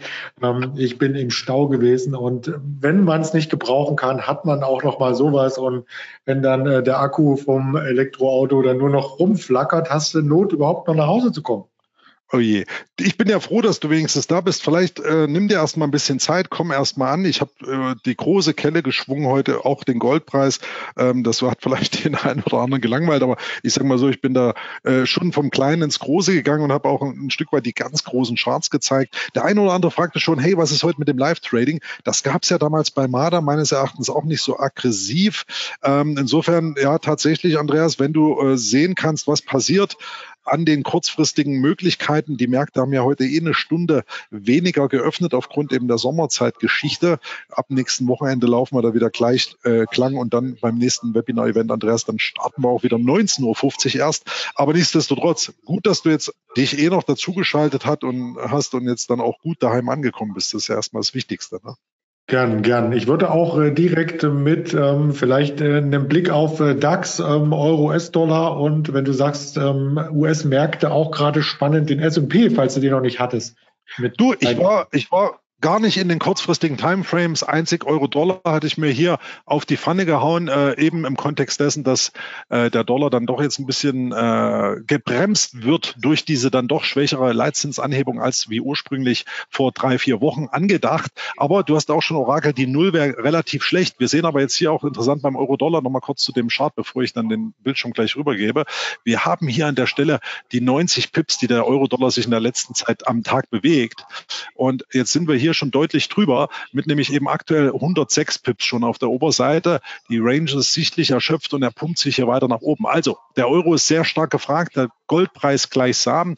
Und jetzt wollen wir mal sehen. Ich denke, die Indexmärkte, lieber Andreas, sind im Fokus der äh, Anleger ganz, ganz vorn. Also ich gebe dir mal den Bildschirm rüber, wenn du soweit bist. Ja, gerne. Mach mal rüber. Und wir können ich ja hin und her wechseln. Wir können hin und her wechseln. Ich muss auch mal den Chat ein bisschen checken, weil äh, jetzt wird nochmal nach dem Link gefragt und dann kann ich auch ein bisschen in der Historie herumkramen. Aber jetzt schauen wir mal, was der Andreas macht, der jetzt sozusagen gleich seinen Bildschirm überträgt. Und dann sind wir auch schon wieder als Duo am Start. Und da sehen wir den DAX 30 genau. im 1-Minuten-Chart, du Wilder. Dann lasse ich dir mal das Wort. Ich trinke erstmal was zwischendurch und habe natürlich äh, das Auge auf die Fragen und den Chat und Chart gerichtet. Genau, genau. Also ich würde mit dem DAX mal ganz kurz anfangen, da wir heute Morgen ja schon im Live-Trading-Room drauf hingearbeitet hatten. Ähm, der Markt hat ja tatsächlich hier es geschafft, ähm, am äh, gestrigen Tag auszubrechen über äh, ziemlich wilde Levels, muss man sagen. Und äh, das ähm, habe ich dann entsprechend äh, eingefangen oder versucht einzufangen mit einem äh, Stop Sell. Also das heißt, wenn der Markt hier nochmal nach unten kommt, ich habe mir als Linie eben diesen Hochpunkt vom Freitag äh, gesetzt, den wir vom, zum Verfallstag gleich zum Handelsstart hatten. Das ist die 15.150. Und wenn man das hier rüberzieht, dann war das tatsächlich auch erstmal ein Unterstützungsniveau und hat sich heute den ganzen Tag über durchgezogen und ist eben auch zur Fettsitzung nicht gefallen. Also das soll eben äh, nochmal symbolisieren, äh, dass wir Marken in Indizes, die eigentlich gar nichts direkt mit einer äh, Zinssenkung in den USA zu tun haben, also nicht direkt, indirekt sind die Märkte natürlich miteinander verzahnt, auch dann am Abend oder am Folgetag dann immer mal wieder äh, bestätigen. Und der Stop-Sell ist immer noch ähm, aktiv, also der ist nicht ausgeführt worden. Da fehlten hier am Morgen irgendwie zwei, drei Pünktchen. Interessant ist, dass auch der Hochpunkt, äh, der jetzt gerade zur Fettsetzung angelaufen wurde, in der Tagesrange war. Also ein, zwei Punkte höher. Das kann auch ein typisches Stop-Fishing gewesen sein. Aber da ist nicht viel äh, passiert. Und ähm, das hier ist äh, das Einfallstor zu dieser großen Range, die wir im großen Zeit Rahmen gesehen haben. Also wenn man hier äh, nochmal in den Februar zurückgeht, das kann man dann im Tageschart sehr gut machen, dann beginnt die ab diesem Level. Deswegen habe ich mir die 15, 250 mal markiert und könnte dann auf den großen Zeitebenen weiter vollzogen werden. Und da hat es der DAX auch nicht geschafft, sich nachhaltig drüber zu setzen, zumindest nicht im Xetra-Markt. Wenn ich das Ganze mal umschalte und gehe mal in das Stock 3 Terminal rein, da haben wir den DAX logischerweise hier auch. Ähm, Im Xetra-Chart habe ich jetzt mal belassen als Xetra damit man auch sieht, wo der Markt heute geendet hat, weil da war die FED-Sitzung nämlich noch gar nicht ähm, quasi absehbar, was da passiert. Ähm, und auch da möchte ich diese Range mal einzeichnen. Die beginnt tatsächlich hier um die 260, so habe ich es zumindest eingezeichnet, und geht bis so 650, 665 hoch, diesen einen Ausbruch zum Jahreshoch. Ähm, ja, den können wir mal stecken lassen, weil auf der Unterseite haben wir auch öfters Ausbruchsversuche gesehen und selbst diese letzten Tage können, wenn wir wieder die Range zurücklaufen, als einen riesen Ausbruchsversuch, da sagt man fast schon Bärenfalle zu, ähm, interpretiert werden, wenn wir wieder reinkommen. Aber soweit ist es noch nicht. Wir sind noch nicht drinne. Und auch wenn wir außerbörslich jetzt wieder bei der 260 sind und im Hoch bei der 304, ist das ja im Grunde genommen immer noch äh, diese Phase, wo darüber entschieden wird, kommen wir wieder rein in die Range oder nicht. Und nimm das bitte nicht punktgenau. Also da kann der Markt auch ähm, so fünf Punkte oder mal auch 20 hin und her spielen und trotzdem zurücklaufen. Also wir haben das ja letzte Woche gesehen, dass wir da rangelaufen sind, das war der Dienstag, ähm, haben erstmal den Anschein erweckt, dass er wieder in die Range zurück möchte. Und dann gab es trotzdem ein neues Tief und die Rest der Geschichte kennen wir ja ab. Dem Wochentief, wenn wir das mal jetzt am Mittwoch schon mal sagen dürfen, ja, die Woche ist ja noch relativ jung und dann nehme ich mal ein anderes Instrument hier rein, müsste ich einmal kurz umschalten, müsste jetzt hier so sein, ähm, ab Nee, immer noch nicht. Da äh, habe ich immer so ein bisschen Kriegsfuß hier mit der Stocks 3 Plattform. Jetzt habe ich es. Genau, nehmen wir mal den Hoch zum Tief, sind das eben 840 Punkte, ja, innerhalb von zweieinhalb Handelstagen. Das ist schon Wahnsinn und das ähm, weckt eigentlich auf den ersten Blick ähm, die Gefühle, dass man hier auf eine Konsolidierung spekuliert, weil so eine schnelle Bewegung oftmals nochmal konsolidiert wird. Aber was man dabei unterschätzt, ist die Dynamik, das Momentum. Und wenn es tatsächlich dazu kommt, dass wir in diese Range reinlaufen, das ist quasi mein Ausblick für den morgigen DAX-Handelstag, mehr dazu morgen im Live-Trading-Room, haben wir eine ganze Stunde Zeit. Der Markus ist ja auch stimmlich äh, stärker angeschlagen als ich sogar, deswegen werde ich das morgen übernehmen, könnten wir mit einem Short-Squeeze auch durch diese Zone durchlaufen. Und das hat dann äh, wenig damit zu tun, dass Anleger sagen, oh, interessantes Kauflevel, weil das hätten sie sich ja auch vor einem oder zwei Monaten hier in der Range schon überlegen können, dass es interessantes Kauflevel ist. Nein, das ist tatsächlich dann dem Umstand geschuldet, dass viel Positionierung im Markt sind und die werden dann sehr schnell bereinigt. Genau das äh, sieht man dann eben auch bei den fast schon erratischen Bewegungen, die wir hier in der letzten Stunde gesehen haben. Also ich glaube nicht, dass hier Anleger ähm, im DAX äh, da ganz locker rangehen. Und das hat natürlich auch beim Futures Erfolge, dass es einen enormen Spread gibt. Also da muss man vorsichtig sein. Wohl dem, der im CFD-Handel unterwegs ist, wie man hier rechts sieht an den Notierungen, ähm, da ist der Spread äh, konstant, zumindest bei JFD. Bei anderen Brokern habe ich jetzt gar nicht geguckt, aber ich werde es bestimmt morgen wieder, wenn ich mal quer durch die Communities gehe, zu Wall Street Online und so weiter lesen, was es da nicht nur an Handelsaussetzung gab, sondern auch an Spread-Ausweitung. Also dass man ähm, recht sicher sage ich mal, wenn man mit dem Partner Safety hier zusammen ähm, arbeitet. Das ist quasi die erste äh, Würdigung vom Markt und ich würde ja gleich mal umschwenken und mal äh, vom DAX weg auf äh, die anderen Märkte schauen und da sieht man eine sehr interessante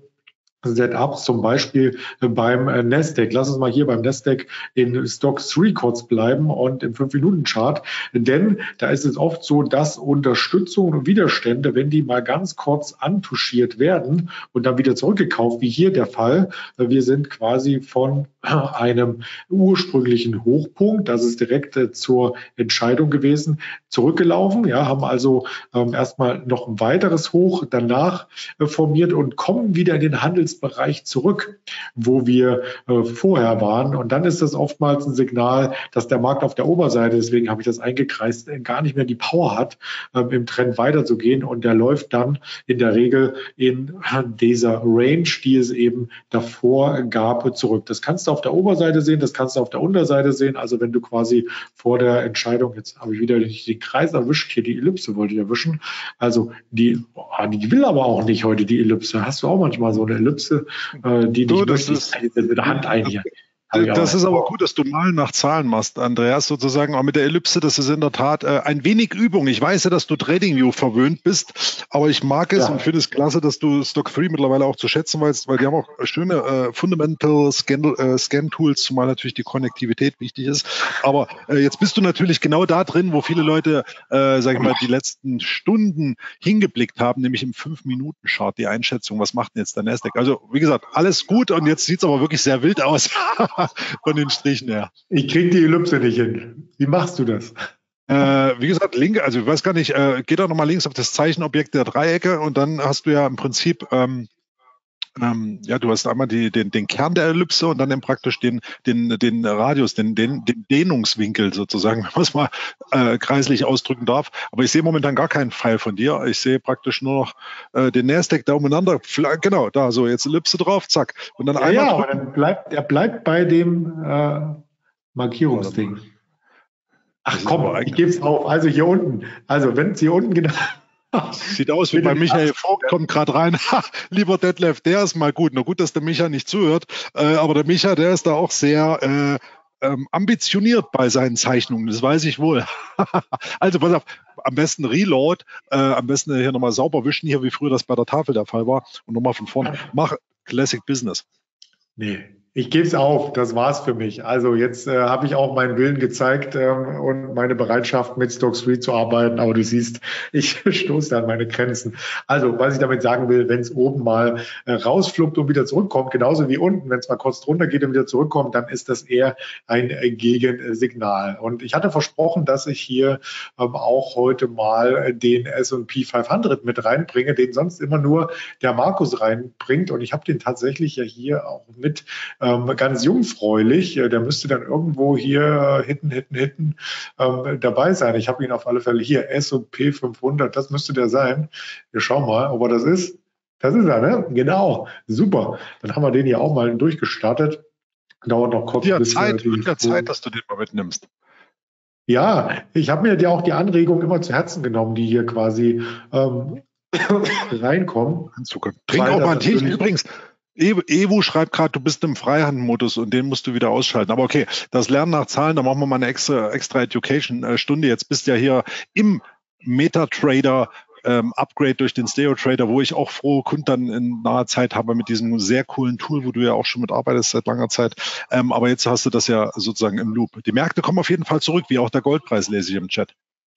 Genau, das ist auf alle Fälle was, wo man dann überlegt, ähm, wenn diese Ausbruchsszenarien wieder revidiert werden. Und ich habe jetzt bewusst mal den großen Chart genommen, den Stundenchart. Ähm, da sieht man das nämlich auch, dass wir hier zurückkommen. Das, was ich gerade kennzeichnen wollte oder gekennzeichnet habe mit dem Nasdaq, das sieht man dann auch in den großen Zeitebenen. Und wenn du dann wieder in die kleinen reingehst und er fällt wieder zurück in die alte Range, dann ist das halt quasi ähm, ein, eine ähm, Idee, dass man sagt, okay, ähm, das ist wieder da, da will ich rein, das will er hier wieder irgendwie nicht. Mann, Mann, Mann, Mann, Mann. Also manchmal ähm, hängt hier bei mir was. Ich weiß nicht, woran es liegt, aber es ist auf alle Fälle wenn der Wurm drin ist, als, das, ähm, Andreas, das fing ja schon mit der, mit der Vorgeschichte an. Wenn der Wurm drin ist, du kennst es, dann ist es richtig. Und ich ziehe eben meinen Hut, dass du ja. noch an den Rechner bist, weil jeder andere hätte gesagt, Gott sei Dank, ich bin zu Hause, ich brauche jetzt erstmal ein kühles Blondes. Wie unser Bernd, der wird jetzt erstmal wieder an der Schnabeltasse sein Bier trinken. Wahrscheinlich. Aber jetzt, jetzt auf alle Fälle gilt, ähm, zu sagen, wir sind wieder eingedrungen in diese Range und das ist ein äh, Short-Setup, ähm, wo du dann in den kleinen Zeitebenen sagen kannst, okay, er ist eingedrungen, ich gehe, ich mache mal hier einen Pfeil rein, also sinnbildlich für die Order.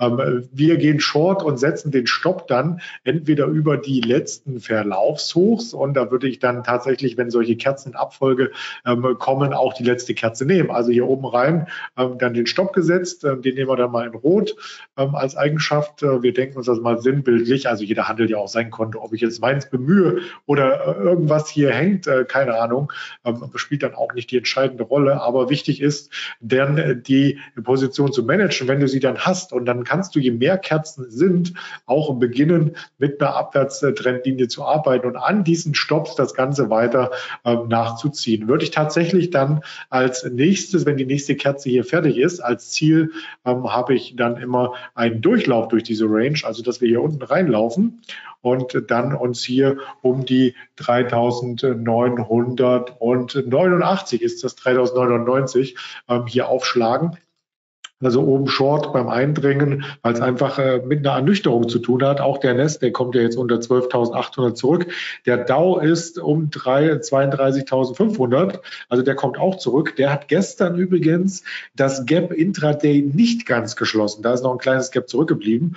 Und äh, wenn einmal äh, der Markt da wirklich Bewegung aufnimmt, der DAX ist unter 15.200 wieder, ähm, dann ist es auch schwer, das Ding nochmal zu drehen. Ich habe jetzt die Kommentare nicht alle im Blick gehabt, weil ich äh, erstmal alle Monitore, alles neu starten musste. Also ein bisschen Blindflug im Sinne von, was hat Jerome Paul eigentlich gesagt? Also Zinsen ja, wie erwartet, aber äh, er sagt ja auch noch was. Äh, wir sehen zum Beispiel keine Zinssenkung in diesem Jahr, hat er verlauten lassen. Das ist was, wo viele Marktteilnehmer jetzt sagen, oh, da wir eigentlich mit gerechnet. Das ist dann eher enttäuschend. Und damit es nicht enttäuschend bei so einem Trade wird, würde ich dann, ähm, sobald die Kerze wieder nach oben kommt, also wir haben jetzt eine Abfolge von mittlerweile sieben roten Kerzen oder schwarz hier, ähm, die Position hier am Range-Eingang abstoppen. Das heißt, wenn man hier short gegangen ist, war mir leider nicht vergönnt, warum auch immer, ähm, wäre ich jetzt so Zehn Punkte im Plus kann ein Buchgewinn mitnehmen. Es ist auch die runde Zahl, die 4000. Deswegen macht es das so spannend beim S&P, denn da scheiden sich ja auch psychologisch ähm, öfters mal die Geister. Soll ich da long gehen, soll ich short gehen? Da wird auf alle Fälle umgeschichtet an der ähm, 4000 und Ziel bleibt, wie gesagt, für diese, dieses Trading-Setup, dass wir unten reinlaufen in die 389 und dann kann man den Stopp auch noch weiter nachziehen. Also die Trendlinie ist ähm, mein Richtungsgeber, mein Taktgeber. Den Stopp habe ich jetzt jetzt auf äh, Break-Even quasi sinngemäß liegen. Und wenn wir ähm, hier runterkommen, da kommt mit der Range natürlich hier auch das Tief ähm, einher, was wir vor ein paar Minuten gesehen hatten. Und wenn die Katze äh, hier unten anschlägt, wäre ich dann immer bereit, ähm, die Hälfte der Position rauszunehmen. So ein Take-Profit für eine Teilposition ist immer gut fürs Gemüt, sage ich ja. Also für äh, die mentale Stärke, dass du sagst, du hast dir schon mal was verdient, ja. Also du bist nicht mehr mit leeren Händen, denn so ein Ausstopp auf Break-Even ist ja am Ende mit leeren Händen dastehen. Und entsprechend der Weiterentwicklung der Trendlinie äh, würde ich dann auch den Stopp hier weiter reinsetzen, ähm, nämlich auf die letzten Kerzen hier drauf. Also das heißt, wir haben dann ähm, bei so einem äh, Setup jetzt äh, schon einen Gewinn von drei Pünktchen gesichert im S&P und warten hier unten drauf, dass es hier tatsächlich aufschlägt auf die 3, 9, 8, 9 um dort ähm, quasi eine Teilposition äh, zu realisieren. Und wenn es wieder nach oben schießt, dann ja, hast du ja nichts verloren, sondern hast ein Stück ähm, sogar gewonnen. So ist meine Denkweise in Verbindung mit äh, den Märkten. Ich hoffe, man hat es auch trotz nasalen Infekt äh, ein bisschen gehört. Ja, doch. Absolut, Andreas, du gibst dein Bestes. Wie gesagt, jetzt ziehe ich nochmal ganz stark meinen Hut und du hast auch hier die Gilde der kurzfristigen Händler definitiv abgeholt und es ist jetzt in der Tat eine gewisse Enttäuschung, weil du richtig auch interpretiert hast, was sozusagen aus dieser Newsflow-Ecke jetzt dann äh, reinspülte, ähm, dass man am Ende des Tages jetzt tatsächlich die ja, äh, Leitzinsen in 23 nicht senken wollte. Aber ich muss ehrlich sagen, du, was die Notenbanken heute sagen, interessiert sie übermorgen sehr selten. Also ich würde sagen, das muss man auch immer im Kontext der Abhängigkeit ähm, ja, der, der weiteren Marktgeschehnisse sehen, weil sie ja ihre Bilanzsumme eh schon aufgebaut aufgebläht haben, weißt du? Das stimmt. Also da ist auch viel gelaufen in, in der letzten Woche. Dieses QI, ähm, das war zum Beispiel gar nicht ähm, ähm, mehr ein Thema, aber hintenrum wurden ja, wurde ja die Bilanzsumme um 300 Milliarden ähm, schon Exakt. ausgeweitet von.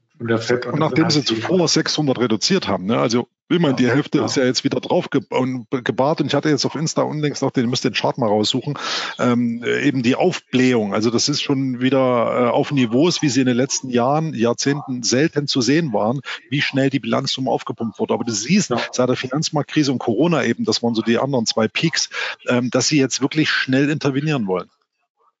Genau.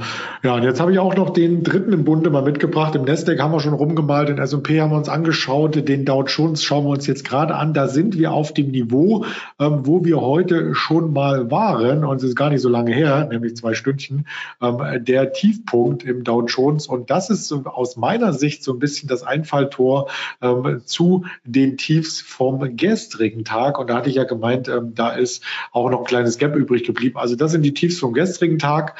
Die wir erreicht haben, das wäre jetzt charttechnisch das nächste Ziel, dass wir da runterlaufen. Und wenn die nicht halten, äh, dann wird das Gap geschlossen und dann ist wirklich eine komplette Ernüchterung. Und äh, das, das mag ich halt, ähm, dass der Markt auf der Oberseite quasi antäuscht, ja, also hier oben erstmal zeigt, ähm, was er machen könnte, ähm, um dann in die andere Richtung zu laufen. Das ist auch genau das, was die Marder-Jungs immer zeigen, nämlich, dass hier der Markt erstmal in Richtung Liquidität läuft und Liquidität aufsaugt saugen muss. Also es macht überhaupt keinen Sinn, ähm, irgendwie äh, Short zu gehen, so kurz vor der Fettsitzung oder halt in den ersten zwei, drei Kerzen. Der Markt muss erstmal in eine Richtung geprügelt werden, um Material aufzunehmen. Ja, also die großen Absolut. Institutionellen, die gehen ja auch nicht mit äh, drei CFDs oder zwei Futures ähm, frühstücken. Die können auch nicht auf einen Knopf drücken wie wir und rein und rausgehen, sondern die müssen tatsächlich bedacht vorgehen und das Ganze auch ähm, über mehrere Orderstufen in den Markt äh, reindrücken, genauso wie rausgehen. Ja, und das ist unser enormer Vorteil. Wir können an solchen Marken, wenn zum Beispiel jetzt hier das Vortagestief hält, ja, können wir sagen, klack, raus, Gewinne mitnehmen, wenn du hier oben short gegangen bist oder wenn du long bist und es fällt hier drunter, du spekulierst darauf, dass das hält und es geht 20 Punkte drunter, kannst du sofort mit einem Klick raus aus dem Markt. Das würde ich übrigens auch empfehlen, weil dann sind wir in diesem Gap-Bereich drinne ähm, und haben äh, sicherlich noch einen kleinen weiteren Abschwung vor uns. Ich schalte mal wieder rüber auf den S&P, was der virtuelle Trade macht und muss mich noch mal entschuldigen. Ich bin wirklich der Letzte, der sich vor einem Live-Trading drückt. Im Gegenteil, ich bin heiß auf Live-Trading, zeige ich auch jeden Tag ähm, und bereue es zutiefst, wenn es halt nicht funktioniert, warum auch immer. Ähm, ich hatte heute schon mal einen Aussetzer beim ähm, die Remote Station, also da hat nichts mit MetaTrader oder JFD oder Stereo Trader zu tun, ist wirklich äh, die Remote Station, die dann irgendwie wegen RAM-Problem, keine Ahnung, ist auch egal. Also hier ähm, der virtuelle Einstieg vorhin, ich habe es live gesagt, ähm, die Stopp-Nachversetzung und hier unten der Teilverkauf. Und der Teilverkauf, äh, da würde ich dann mit der restlichen Position dann den Stopp jetzt hier hinsetzen, also vor die große Kerze. Und dann kann man im Grunde genommen äh, darauf spekulieren, dass diese kleine Bewegung, die wir in der aktuellen Kerze zu sehen, dass das nur ein Pullback ist. Also wenn ich hier auch noch mal ein bisschen mehr reinmalen darf, das erste Tief und das Tief, äh, was wir jetzt hier sehen, beziehungsweise die Gegenbewegung der aktuellen Kerze, dass das nur ein Pullback ist und dass die nächste Bewegung dann den Markt noch eine Ecke tiefer führt. Das ist das typische Marktverhalten, äh, runter nochmal zurück an so eine Barriere, um da nochmal Schwung aufzunehmen und äh, tiefer zu tendieren. Ich sehe kaum eine Gegenbewegung und das heißt, dieser Stopp hier, äh, blau symbolisiert, der ist hier genau richtig, denn wenn es nach oben drückt, ja, dann, dann würde ich wieder rausgehen. Ja, dann kann es so ähnlich wie, wie erkläre ich es denn dem Chris, äh, dass der Chris das auch äh, gleich aufnimmt. Ja, wie ein Hosenträger, Chris. Äh, den kann so ich mir das gut vorstellen. Ja, den lässt du so schnippen und äh, kraulst dir noch mal kurz die Brust mit den paar Härchen drauf, die du mittlerweile schon hast. Du bist ja auch schon 39. Und dann lässt der andere den Hosenträger zurückschnippen und erstmal schmerzverzerrtes Gesicht bei dir, aber irgendwann denkst du dir, oh, das ist ja eigentlich ganz geil. Nein, das ist ein anderes Thema. Autsch, aber wir sind zum Glück schon nach 20 Uhr. Ähm, ja. Ich sehe auch gerade, lieber Alex, der Bernd ist tatsächlich ein absoluter Bierfreund. Also das ist jetzt nicht äh, irgendwie anrüchig gemeint, wenn wir Bernd, Bernd äh, huldigen, weil äh, für ihn ist das schon Tradition und er steht dazu. Das ist auch für ihn Medizin, so wie die alten Mönche äh, dieses gebraut und gewürdigt haben, so tut das im Prinzip der Bernd. Also nicht falsch verstehen, das ist alles ja, auf der richtigen Ebene. Ne? Apropos Mönch, äh, ja. der, der alte Mönch hat äh, das Gap im Blick, jetzt ist es durchgehämmert worden, das Vortagestief im äh, Dow Jones und jetzt schalte ich mal um hier, das kann man nämlich auch sehr, sehr schön machen, auf die Kurse nicht von JFD, die ich sonst laufen habe wegen Endloskontrakt, sondern auf NICE, New York Stock Exchange und das ist das Schöne, das Zeitverzögert. Guck mal, da steht es noch hier oben, aber das habe ich jetzt nicht eingeblendet, weil ich das so schön finde mit dem Zeitverzögert, sondern weil ich mir das Gap anschauen möchte. Da hast du dann immer 14 Minuten Zeit oder 15 Minuten Genau. Ich zeichne das viel größer. Das ist nämlich das Gap Close. Und in diese Gap Area sind wir jetzt mit der Unterschreitung des gestlichen Tiefs ähm, eingezogen. Und klar, wenn du irgendwie zeitversetzt handeln willst, ist das natürlich der richtige Chart, den du jetzt nimmst mit dem Wissen. Ah, Spaß beiseite. Machen wir ja nicht. Wir sind ja hier Realtime angekoppelt und schauen mal, wo ähm, der Markt jetzt ist im der Euro, ich, ich, will, ich will mal kurz, ganz kurz, äh, vielleicht eine spannend, dass der Euro sich relativ robust hält äh, im Vergleich zu den Indizes, die das jetzt doch mit der Nicht-Leitzinserhöhung, also wirklich wie eine bittere Pille schlucken, will ich fast sagen. Äh, das nehmen sie schon äh, übel auf. Also das muss ich sagen, das überrascht mich dann doch schon äh, ganz schön, dass das jetzt so, äh, sag ich mal, in den schiefen Hals kommt. Auch der Goldpreis äh, weiter stabil. Also der Dollar wird abgestraft, aber die Indizes gehen jetzt hier auch richtig in die Knie. Das ist äh, spannend zu sehen dass dieser Korrelationseffekt sich auch hier löst. Ja, das stimmt. Das ist auf alle Fälle ähm, spannend und spannend ist dann auch, ähm, wo es halt hinlaufen kann. Also beim Dow, den wir jetzt gerade haben, bis zum äh, Gap Close auf der Unterseite wäre auf alle Fälle das technische Ziel. Heißt nicht, dass das jetzt direkt in den nächsten zehn Minuten kommen muss. Also auch da gilt, ähm, dass man hier Jetzt will ich wieder das Malinstrument nehmen. Ich hoffe, der tut nicht hier mehr alles kaputt machen. Es kann natürlich hier jederzeit zu einem Rücklauf kommen, aber der darf dann für das Short Setup nicht höher als hier sein. Und dann muss er wirklich wieder runterdrehen und äh, nach unten durchlaufen. Also das wäre der idealtypische Verlauf. Und äh, vielleicht kommt die Kerze gar nicht hoch. Vielleicht ist so viel Druck im Markt, dass er direkt hier runterkommt. Das ist dann quasi der panikartige Verlauf. Und dann ist nach dem Gap Close auch noch mehr drin. Also dann kann man wieder mit einer Teilposition, mit einem Teilpositionsverkauf arbeiten. Und der Verlauf, den natürlich niemand haben will, ist hier irgendwie so hin und her. Ähm, hoffen wir mal nicht, dass sowas kommt. Aber auch das gibt es natürlich immer. Wir schalten mal rüber auf äh, den äh, virtuellen Trade im S&P, den wir uns hier einskizziert haben und ähm, schauen mal, wie das weitergeht. Also der Teilverkauf ähm, ist erfolgt und ich würde jetzt den Stopp hier auch nachziehen, genau an diese Range-Kante, dass wir sagen, okay, ähm, soweit würde ich es noch lassen und habe jetzt die dritte Stoppversetzung ähm, und einen Teilverkauf schon getätigt ähm, und äh, da kann es durchaus ähm, auch hier im Chart weitere Tiefs geben, aber das Risiko ist natürlich höher zu gewichten als immer die Chance. Wir sprechen ja mal vom Chance-Risiko-Verhältnis. Am Ende ist das Risiko vor Chance zu sehen. Eigentlich müsste es ja Risiko-Chance-Verhältnis heißen, aber alle wollen immer nur die Chancen sehen und Geld verdienen. Stimmt. Aber Geld verdienst du ja nur, wenn du das Risiko auch im Griff hast. Genau. Stimmt. Und jetzt, jetzt lass uns mal nochmal zurückkommen zum, zum DAX. Da hatte ich ja reingezeichnet, dass wir bei der 150 das Ziel haben, ne? also 15.150, die Hochs vom Freitagmorgen. Und äh, da habe ich ganz geistesgegenwärtig ja vorhin noch diese Order gehabt. Jetzt ähm, ist es nicht so, dass ich die vergessen habe. Nein, die wurde ausgeführt. Und ich habe aber vergessen, hier unten den Take Profit genau dahin zu setzen. Würde ich jetzt nachholen. Also ich gehe jetzt an den 50er-Bereich hier ran. Nehmen wir mal die 48. Und dann haben wir nämlich auch einen Live-Trade, äh, warum der auch immer funktioniert hat. Ich weiß es nicht. Ähm, bei dem S&P hat es nicht funktioniert. Und ich zoome das mal auf. Also eingestoppt hier unten am äh, Tagestief. Und den Stop würde ich auch hier nachziehen. Und da der DAX natürlich volatiler ist, würde ich den sogar schon in den Plus rein einsetzen im Plusbereich, also plus ein Punkt, ähm, da man beim DAX ähm, über den höheren Spread im Future-Markt und da es nicht der originäre Markt ist und auch weil ich es hier verpennt habe, einfach rauszugehen, ähm, wenn ich einmal im Redeschwall bin, dann äh, ist es manchmal so. Aber vielleicht gibt es noch die zweite Chance, ist immer 54, 55, äh, liegen also 15 Pünktchen vorne und haben ja jetzt keine Gefahr mehr. Also wenn es äh, wieder nach oben laufen sollte, bin ich dann eben mit äh, einem Punkt raus und dann haben wir zumindest, äh, ja, bin ich raus mit einem Punkt, 42 Euro. Immerhin, also immerhin Live-Trade, einen hat es gegeben und der ist ja theoretischer Natur, aber der läuft noch, der läuft noch. Da läuft noch. Und du hast, wie gesagt, äh, dein Wort gehalten äh, und bist sozusagen hier nochmal in die Bresche gesprungen. Wie gesagt, muss ich ganz groß anrechnen, weil ich habe jetzt äh, dann spontan vorhin meinen Metatrader starten müssen. Er hatte jetzt aber nicht die Ambition, äh, im, im wüstigen Staub der Märkte da umeinander zu handeln. Aber schlussendlich, wie du sagst, äh, den Döner hast du dir ja schon mal verdient. Das ist ja schon mal das A und O. Ja, den hätte ich mal lieber in Berlin irgendwo noch geholt, den Döner. Ja, habe ich nicht mal Zeit gehabt, mir einen Döner zu holen. Aber naja, so ist es halt manchmal. ähm, ich sehe leider den, den Chat nicht, ob es da noch Aber Feedback gab, Nachfragen, dir, äh, Wunschmärkte. Ansonsten würde ich noch mal, ich weiß, dass immer abends auch viel über DAX diskutiert wird, deswegen habe ich den mit reingenommen. Ähm, den nehmen oder sag mir, was im Chat steht. Ich sehe es, wie gesagt, nicht. Ich, ich warte, ich, ich schiebe dir den Chat kurz rüber. Der ist heute wieder, sagen wir, sehr groß, weil auch gut besucht. Das Webinar äh, in der Tat, obwohl Marder ja heute ein Konkurrenzevent in Anführungszeichen hat. Äh, wie gesagt, wer war Marder? sind uns treu.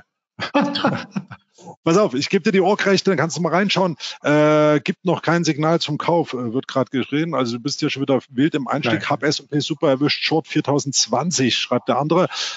Warten wir mal ab. So, jetzt müsste der Chat eigentlich ganz äh, klar da sein. Wenn es runtergeht, ja, also es geht runter, runter, runter und dann etabliert sich ein Trend, dann dauert es auch mal zehn Kerzen oder eine halbe Stunde und dann hat sich ein Trend etabliert. Und da sind viele, viele Trader, ähm, leider muss ich sagen, ähm, nicht auf der Suche nach, wie komme ich in diesen intakten Trend rein, sondern eher auf der Suche nach, wann ist denn der endlich wieder zu Ende? So, dann hat man schon mal einen gefunden und dann sucht man danach, wann ist er denn schon wieder zu Ende. Das ist so ein bisschen wie Weihnachten, äh, wenn äh, die Schwiegermutter ein Lied singt, ja, da denke ich mir auch äh, irgendwie wochenlang vorher, oh, bald ist Weihnachten, schöne Stimmung, sobald die anfängt zu singen, denke ich mir, wann ist es schon wieder zu Ende. Aber beim Trading muss man doch tatsächlich doch abfeiern, wenn es dazu kommt, ähm, dass man ähm, einen Trend sieht und dann mitlaufen äh, lassen kann und sich dann darauf fokussieren, den zu managen, finde ich. Weil das Management von einem Trade ist viel, viel wichtiger als ähm, immer die Suche nach dem optimalen Einstieg. Den findest du sowieso nicht. Du hast es an mir erlebt. Also ich war nicht da, als die Übertreibung auf der Oberseite war. Ich kam dazu, habe kurz analysiert, habe eine Marke definiert, bin in den Markt, also hier virtuell reingesprungen, habe meinen Stopp gesetzt, habe nachgezogen und hier wäre ich jetzt komplett raus. Also das ist jetzt für mich das Ausstiegssignal.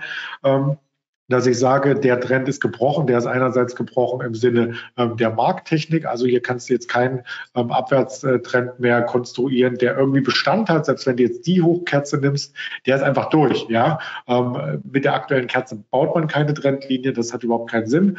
Ähm, also den kann ich rauslöschen. Und der zweite Punkt ist, dass wir eben äh, dynamisch ab einem Tiefpunkt, also das ist hier, wenn ich auch nochmal äh, das optisch anlegen darf, das ist der Tiefpunkt gewesen im Markt hier unten. Und die Kerzen danach, die haben diesen Tiefpunkt nicht mehr unterschritten. Ja, also wir haben ein höheres Tief. Und da kannst du auf eine zumindest äh, stärkere Gegenbewegung erstmal spekulieren und dir danach die Frage stellen, wenn du ausgestiegen bist, ob es eine Trendumkehr gibt. Im Moment ähm, ist es jetzt nicht so, dass es ein dickes Long-Signal ähm, ist. Ein leichtes Long-Signal würde ich vielleicht, weil wir wieder diese Range eingedrungen sind, ähm, wahrnehmen. Aber das mache ich immer abhängig von den Kerzen und logischerweise auch von der Uhrzeit. Denn jetzt haben wir 20.16 Uhr und da kommt mhm. äh, nicht etwa Tagesschau vorbei und jetzt fängt Florian Silbereisen an, irgendwas zu trällern. Nee, jetzt geht es darum, ähm, die letzte Dreiviertelstunde im US-Markt zu verstehen und zu würdigen. Und da muss man äh, wissen, dass natürlich je länger die Zeit nach hinten läuft, desto mehr kommen gerade diese Intraday-Trader, also die typischen Day-Trader in die Bredouille. Und da versuche ich mich sehr, sehr oft in die Reihen zu versetzen. Wie ticken die? Äh, wie können die positioniert sein? Und wie kriegen die quasi mit dem geringsten Schmerz ihre Position noch äh, vom Tisch? Weil ja irgendwann der Overnight oder die Overnight Margin zuschlägt. Und die Overnight Margin bedeutet ja, dass die Finanzierungskosten äh, ähm, exorbitant nach oben gehen. Und viele Trader, ich weiß es auch aus dem äh, Umfeld, wenn ich in Communities mitlese, die sind halt äh, hoch gehebelt unterwegs und können sich das A nicht leisten, über Nacht die Zinsen zu bezahlen und B ähm, reizen sie auch die Margin oft aus. Ähm, also soll heißen, dass sie, äh, wenn sie ähm, die Overnight Margin für alle Kontrakte, die sie haben, zum Beispiel im Future-Markt, berappen müssten, das Kapital gar nicht ausreicht. Ja, und dann macht der Broker Folgendes zum Schutz desjenigen, der die äh, Position hält. Er kickt die Position. Das ist der sogenannte Margin Call. So, man findet ja statt bei den meisten Brokern, bei den meisten Future Brokern kurz vor Handelsschluss und zwar eine Viertelstunde davor. Also nicht in der letzten Minute.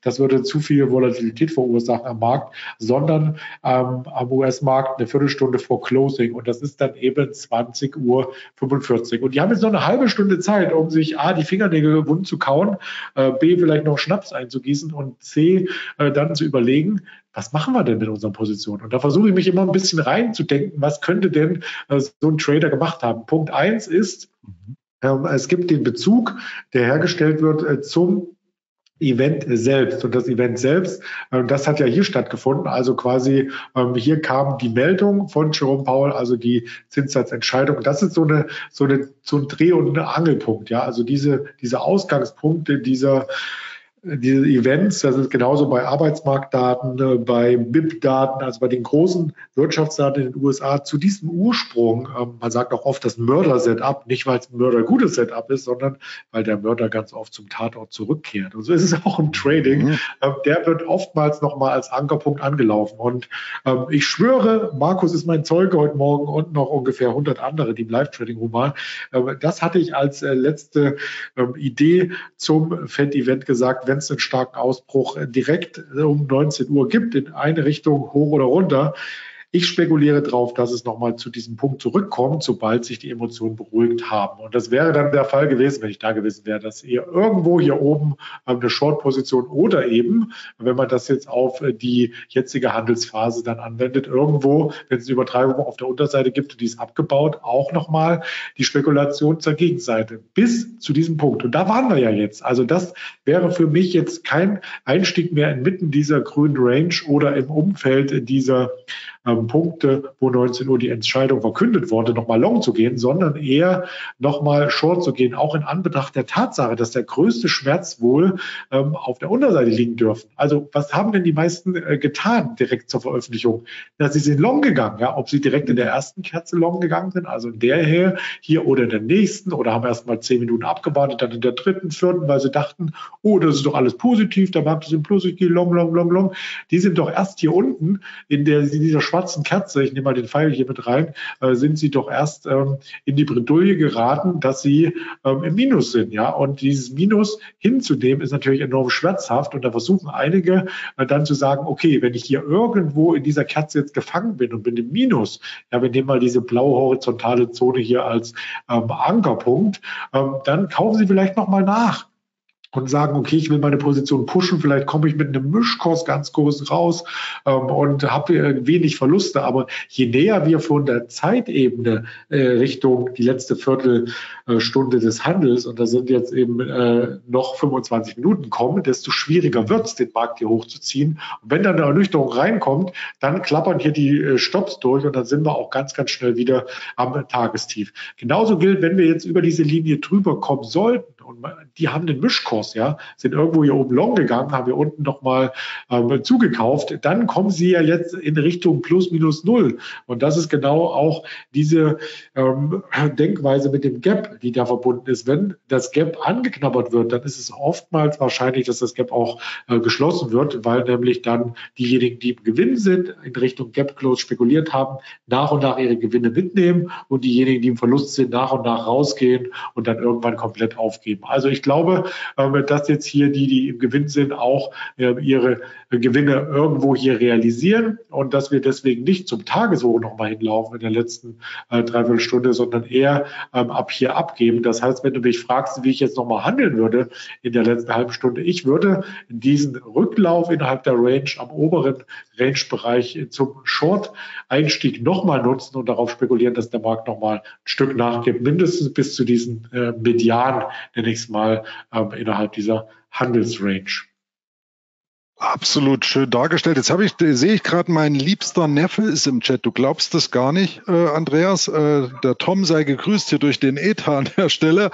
Äh, tatsächlich hat er sich heute mal eingelinkt oder vielmehr eingeklinkt bei einem Live-Event, der hat auch damals, äh, damals, so sage ich vorhin schon in meiner Rundumfrage, da fragte ich nämlich, wie viele äh, erlauchte Teilnehmer sind denn eigentlich äh, aus dem und dem Bundesland, aus der und der Stadt? Und da hat er direkt schon am Anfang laut gegeben, aber das knallte halt so durch, ähm, dass ich jetzt erst bei der nächsten Frage gesehen habe, mit welchem Hebel wird denn gehandelt? Also ich bin mir jetzt nicht sicher, aber lieber Tom, da werde ich gleich mal die Frage aufnehmen.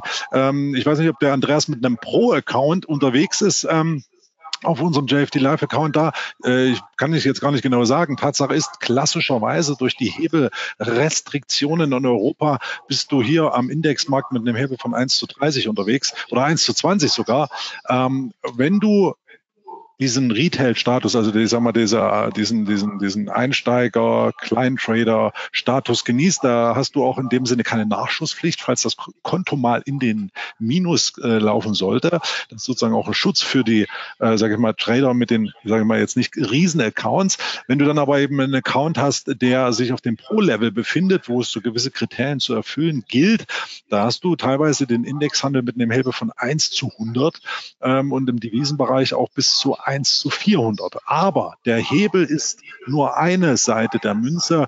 Wie auch Andreas vorhin schon sagte, Risiko im Griff halten, Chance, Risiko, eigentlich müsste es Risiko, Chance heißen, denn äh, je höher der Hebel, klarerweise auch je höher die äh, potenzielle Chance, aber das Risiko darf man nie auslassen und äh, ganz kleine Anekdote, als die Broker sich mit ihren höheren Hebel nur so überschlugen in früheren Jahren, da gab es ja Hebel 1 zu 1000, 1 zu 1000 111, das war auch so ein Schnapsalding, da bin ich ja fast vom Stuhl geflogen.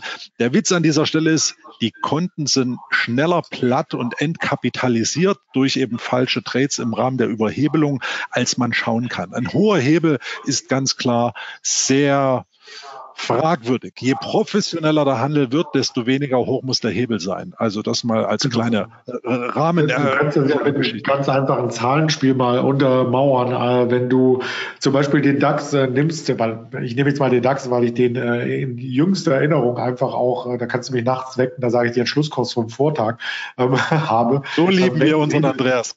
Entschuldigung, dass ich das ja interrupte, aber so lieben wir ihn. Sehr gut. Wenn, wenn du äh, den Hebel 1 zu 100 anwendest im DAX, heißt das ja, der bewegt sich ein Prozent und du hast äh, 100 Prozent entweder dein Konto verdoppelt, super, Chapeau, oder eben äh, dein Konto komplett genullt. So. Und äh, wie hoch ist die Volatilität gewesen? Wenn wir letzte Woche mal nehmen, am Montag ging es 3,2 Prozent nach unten. Ja, am Dienstag ging es 2,5 nach oben. Am Mittwoch ging es wieder über 3 Prozent nach unten.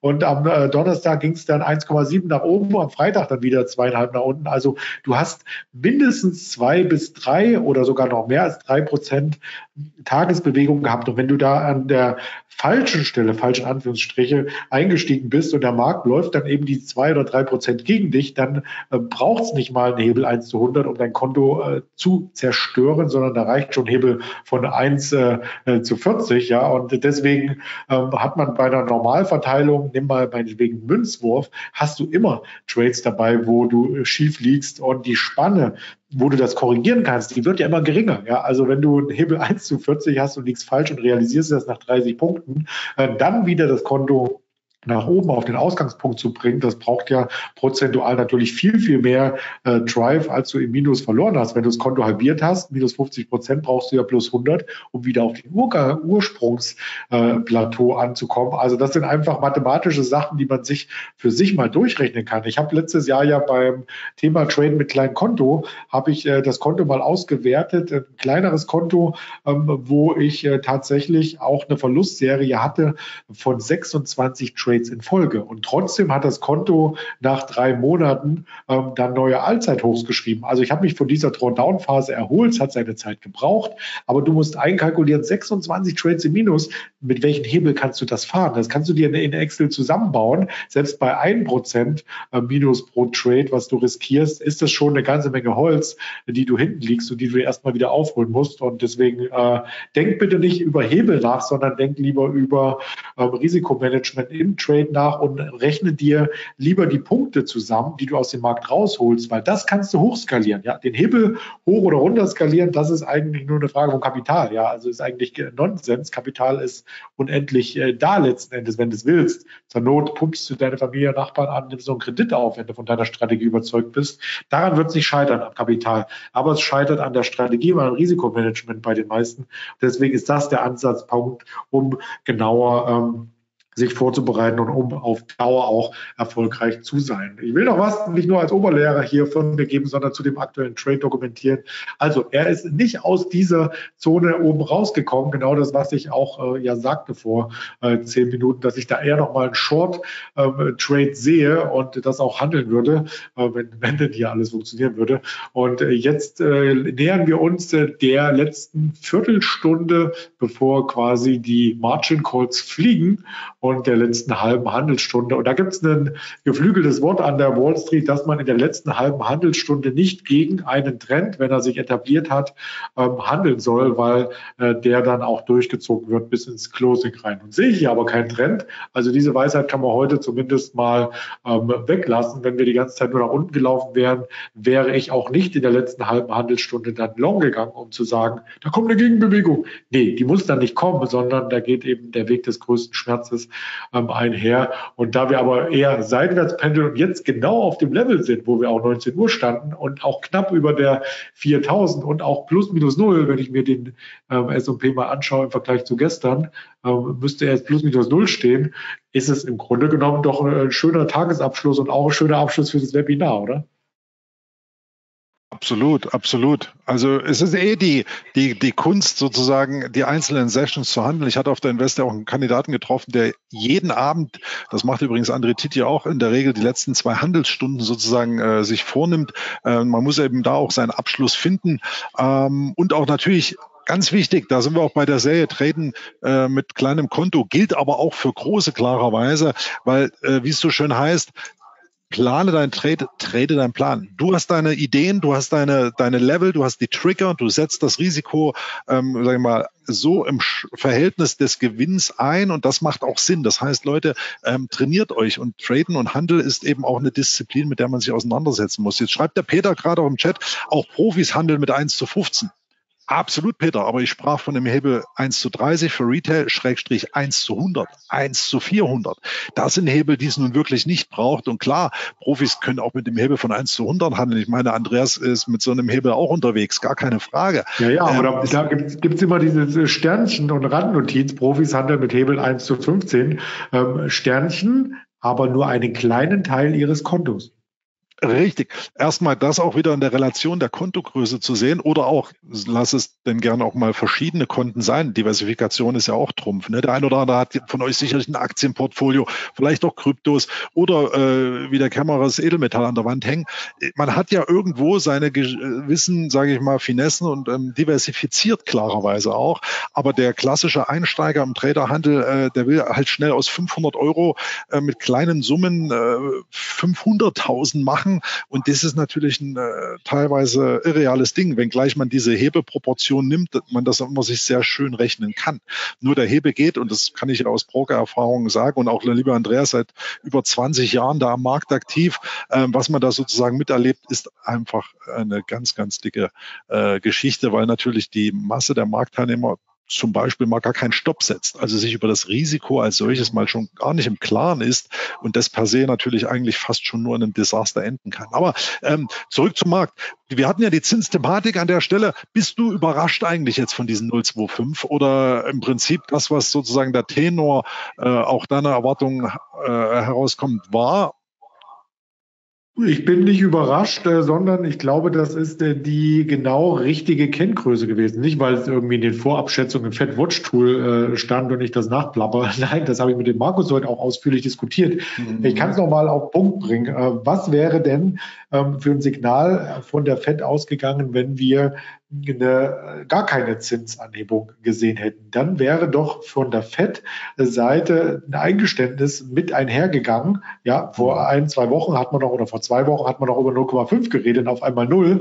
Heißt doch, oh, der Markt braucht Liquidität. Oh, diese äh, Krise um Credit Suisse und ähm, die ganzen Regionalbank, äh, First Republic, wie sie alle heißen, ist doch viel größer, als äh, das vielleicht jetzt aktuell ähm, offenbart wurde. Ja, also das wäre quasi ein Paniksignal an den Markt gewesen.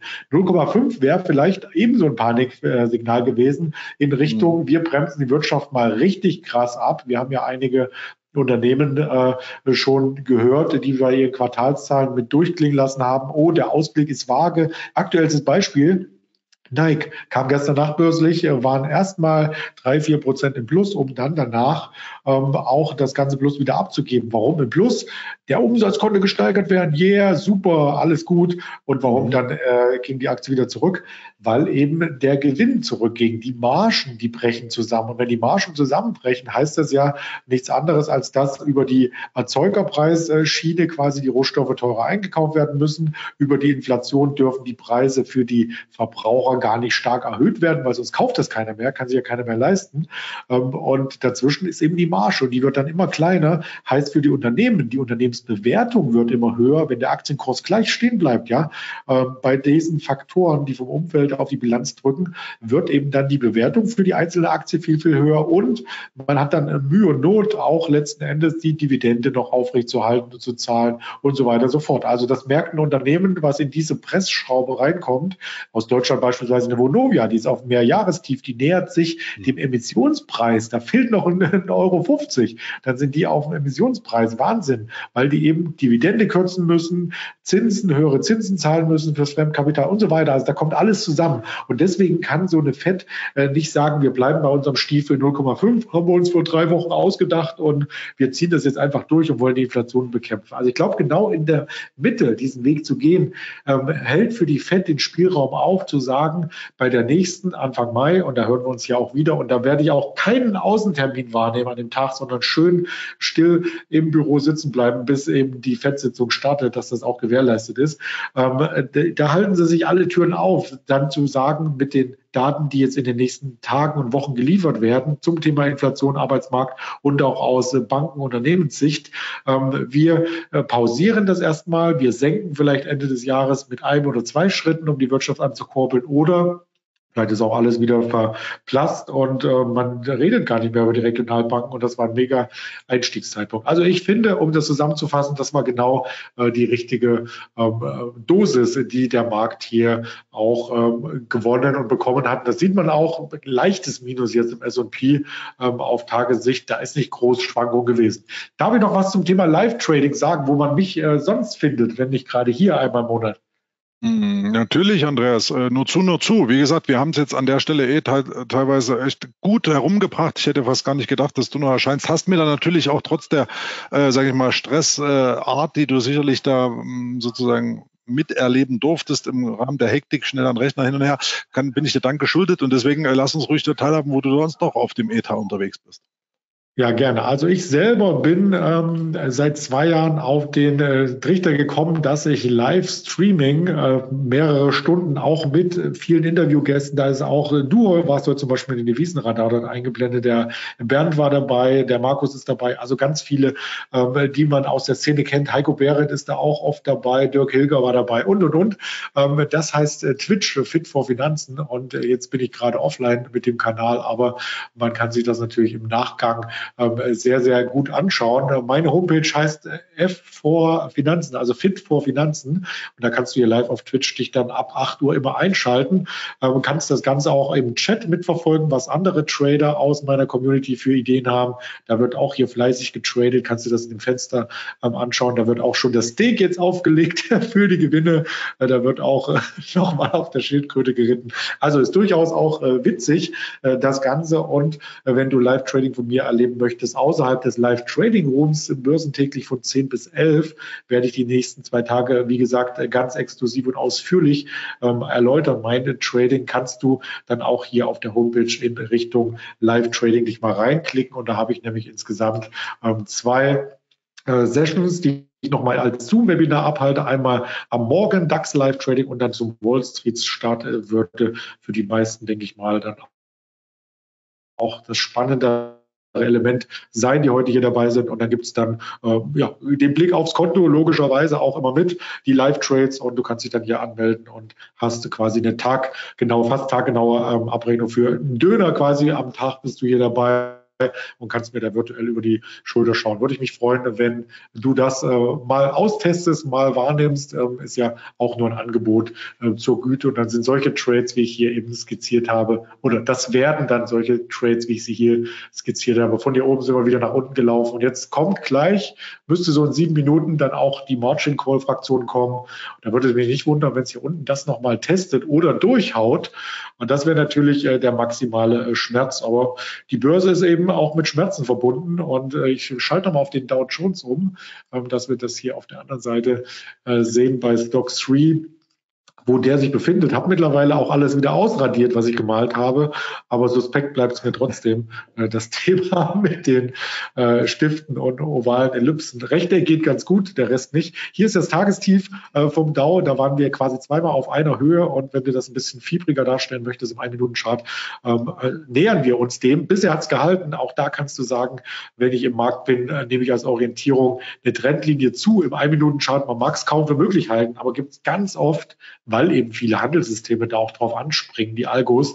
Ähm, sehr schöne Trendlinien, Ausgangspunkt hier das Tageshoch, dann die Gegenbewegung, die wir eben gesehen haben und die zweite Gegenbewegung und damit haben wir schon einen Abwärtstrend und eine Dreiecksformation. Heißt, unten Ausbruch ist äh, quasi nochmal richtungsweisend für die letzten 20 Minuten im Handel. Und danach riecht's jetzt aktuell, als dass wir unten ähm, auf alle Fälle nochmal äh, vielleicht testen, ob es Stops gibt und wenn die ausgeführt werden, auch das Gap dann doch nochmal zum Montag schließt. Das wäre ja mein Favorit. Wahnsinnig schön. Also da haben wir doch zum Ende hin nochmal eine richtig schöne, äh, sage ich mal, Session, noch Ableitung auf den, sage ich mal, bevorstehenden äh, Wochenabschluss bekommen. Wir haben ja jetzt noch zwei Tage, aber das sind natürlich schon mal Tendenzen, wo man sich auch positionieren kann. Insofern, ja, das Danke äh, geht hier schon durch den ETA.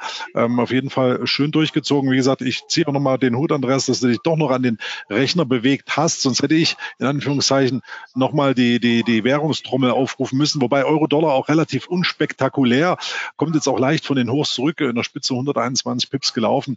Äh, man will sich da nicht beschweren. Ich will nur hoffen, dass er auch ein bisschen was mitnehmen konnte. Der auch von dem großen Blick, ähm, den wir hin und wieder eben neben dem Live-Handel oder auch der Chartbeschauer einstreuen in Sachen der ja, Erkenntnisse, die wir dann doch schon über die vielen Jahre gesammelt haben und auch die Möglichkeiten, die sich natürlich an den Märkten ergeben. Aber lange Rede, kurzer Sinn, ihr müsst immer wieder euer Risiko im Griff halten und Ansonsten kann man eigentlich nur sagen, ich will sagen, auf bald. Links Webinarserien, Eventkalender, die Infos vom lieben Andreas, Link ist auch gerade reingeschert worden.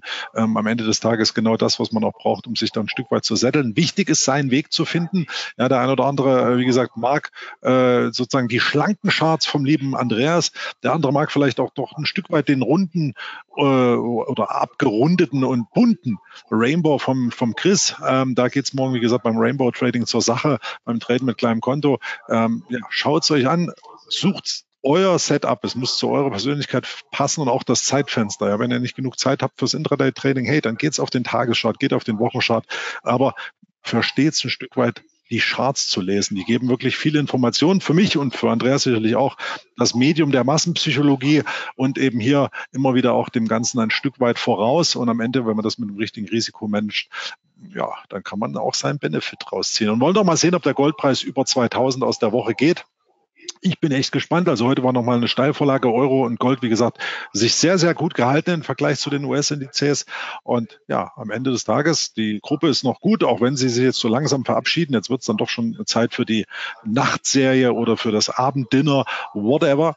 Ähm, mein Dank, Andreas, an dich für die spontane, sage ich ja. mal, ähm, ja, die spontane Hinzuschaltung. Wie gesagt, hätte ich jetzt nicht unbedingt erwartet, ähm, aufgrund der Hektik und dergleichen. Ich kann nur Danke dafür sagen und allen Teilnehmern, die jetzt auch bis zum Schluss hier an der Stelle äh, dabei waren. Äh, Lenker schreibt gerade nicht dabei sein. Du, Landingpage inklusive, das habe ich vielleicht gar nicht gesagt. Hm, auf unserem äh, Credit mit kleinem Konto gibt es die Landingpage mit allen Aufzeichnungen, auch vom Andreas, von Andreas seiner äh, Session mit Indikatoren ohne ähm, und eben auch Trading Skills von der Psyche bis zu Tools und Templates. Also anmelden. Ich suche den Link raus. Ich suche ihn raus. Hat sie gleich. Hat sie gleich, genau. Schick ihn äh, direkt nochmal zu. Es lohnt auf jeden Fall. Äh, da gibt es sicherlich einiges zu ernten. Und morgen, ja, ich muss dann nach Berlin fliegen, in Anführungszeichen. Andreas, ne? wir haben da noch unser Date im Hinterkopf. Ähm, Potsdam, Berlin ist ja praktisch um die Ecke. Ähm, da muss ich nur zusehen, der Flieger geht am Nachmittag recht früh, dass ich hier ähm, sozusagen den Absprung schaffe. Das wird morgen wieder ein sehr, sehr sportlicher Tag. Aber lange Rede, kurzer Sinn. Wir haben uns alle das Feierabend hier im Busch. Du, doch, kannst doch deinem Piloten sagen, wann er startet und landet. Also ist doch deine Entscheidung. Entscheidung. Jetzt machen wir gleich mal einen auf Dirk Reuter mit der Privatchat-Geschichte an der Stelle. Äh, sehr, sehr gut. Aber wir wollen ja nicht äh, zu sehr einen rauskehren. Aber vielen Dank auch für euer Feedback, dass es euch gefallen hat, dass ihr uns auch trotz MADA und anderen Kanälen wie, ich meine, CMC Markets strahlt auch einen Livestream aus, dass ihr uns da die Treue gehalten habt. Und am Ende, ja, findet auch das richtige Brokerhaus. Das ist wichtig, dass ihr euch da nicht veräppelt fühlt. Übrigens, ich habe noch nachgelesen, gerade vielleicht für den, der bis jetzt noch da ist, mit den Zinssenkungen hast du ja vorhin schon was gesagt, aber was interessant ist, Yellen also Europa diskutiert darüber, ob das Limit für versicherte Einlagen über 250.000 Dollar angehoben werden soll. Also hier gibt es schon wieder so ein Stück weit Seitschübe nach dem Motto, ah, ist das Geld sicher, ist das Geld auf der Bank sicher? Puh, wir sind vor spannenden Zeiten. Ich will nicht die Finanzmarktkrise 2.0 heraufbeschwören, aber es dürfte uns noch einige Zeit beschäftigen, was rund um den Zinsmarkt, Anleihe und auch den Banken, die denn da so ein ganzes Stück weit drinstecken, noch so geschehen wird. Also, jetzt muss ich aber echt das Schlusswort finden, sonst rede ich noch drei, drei Uhr in der Früh weiter. Andreas, hab dich wohl, liebe Teilnehmer. Einen wunderschönen Abend an euch in den äh, ETA und auf bald will ich hoffen. Bis dann. Ciao. Ciao, ciao.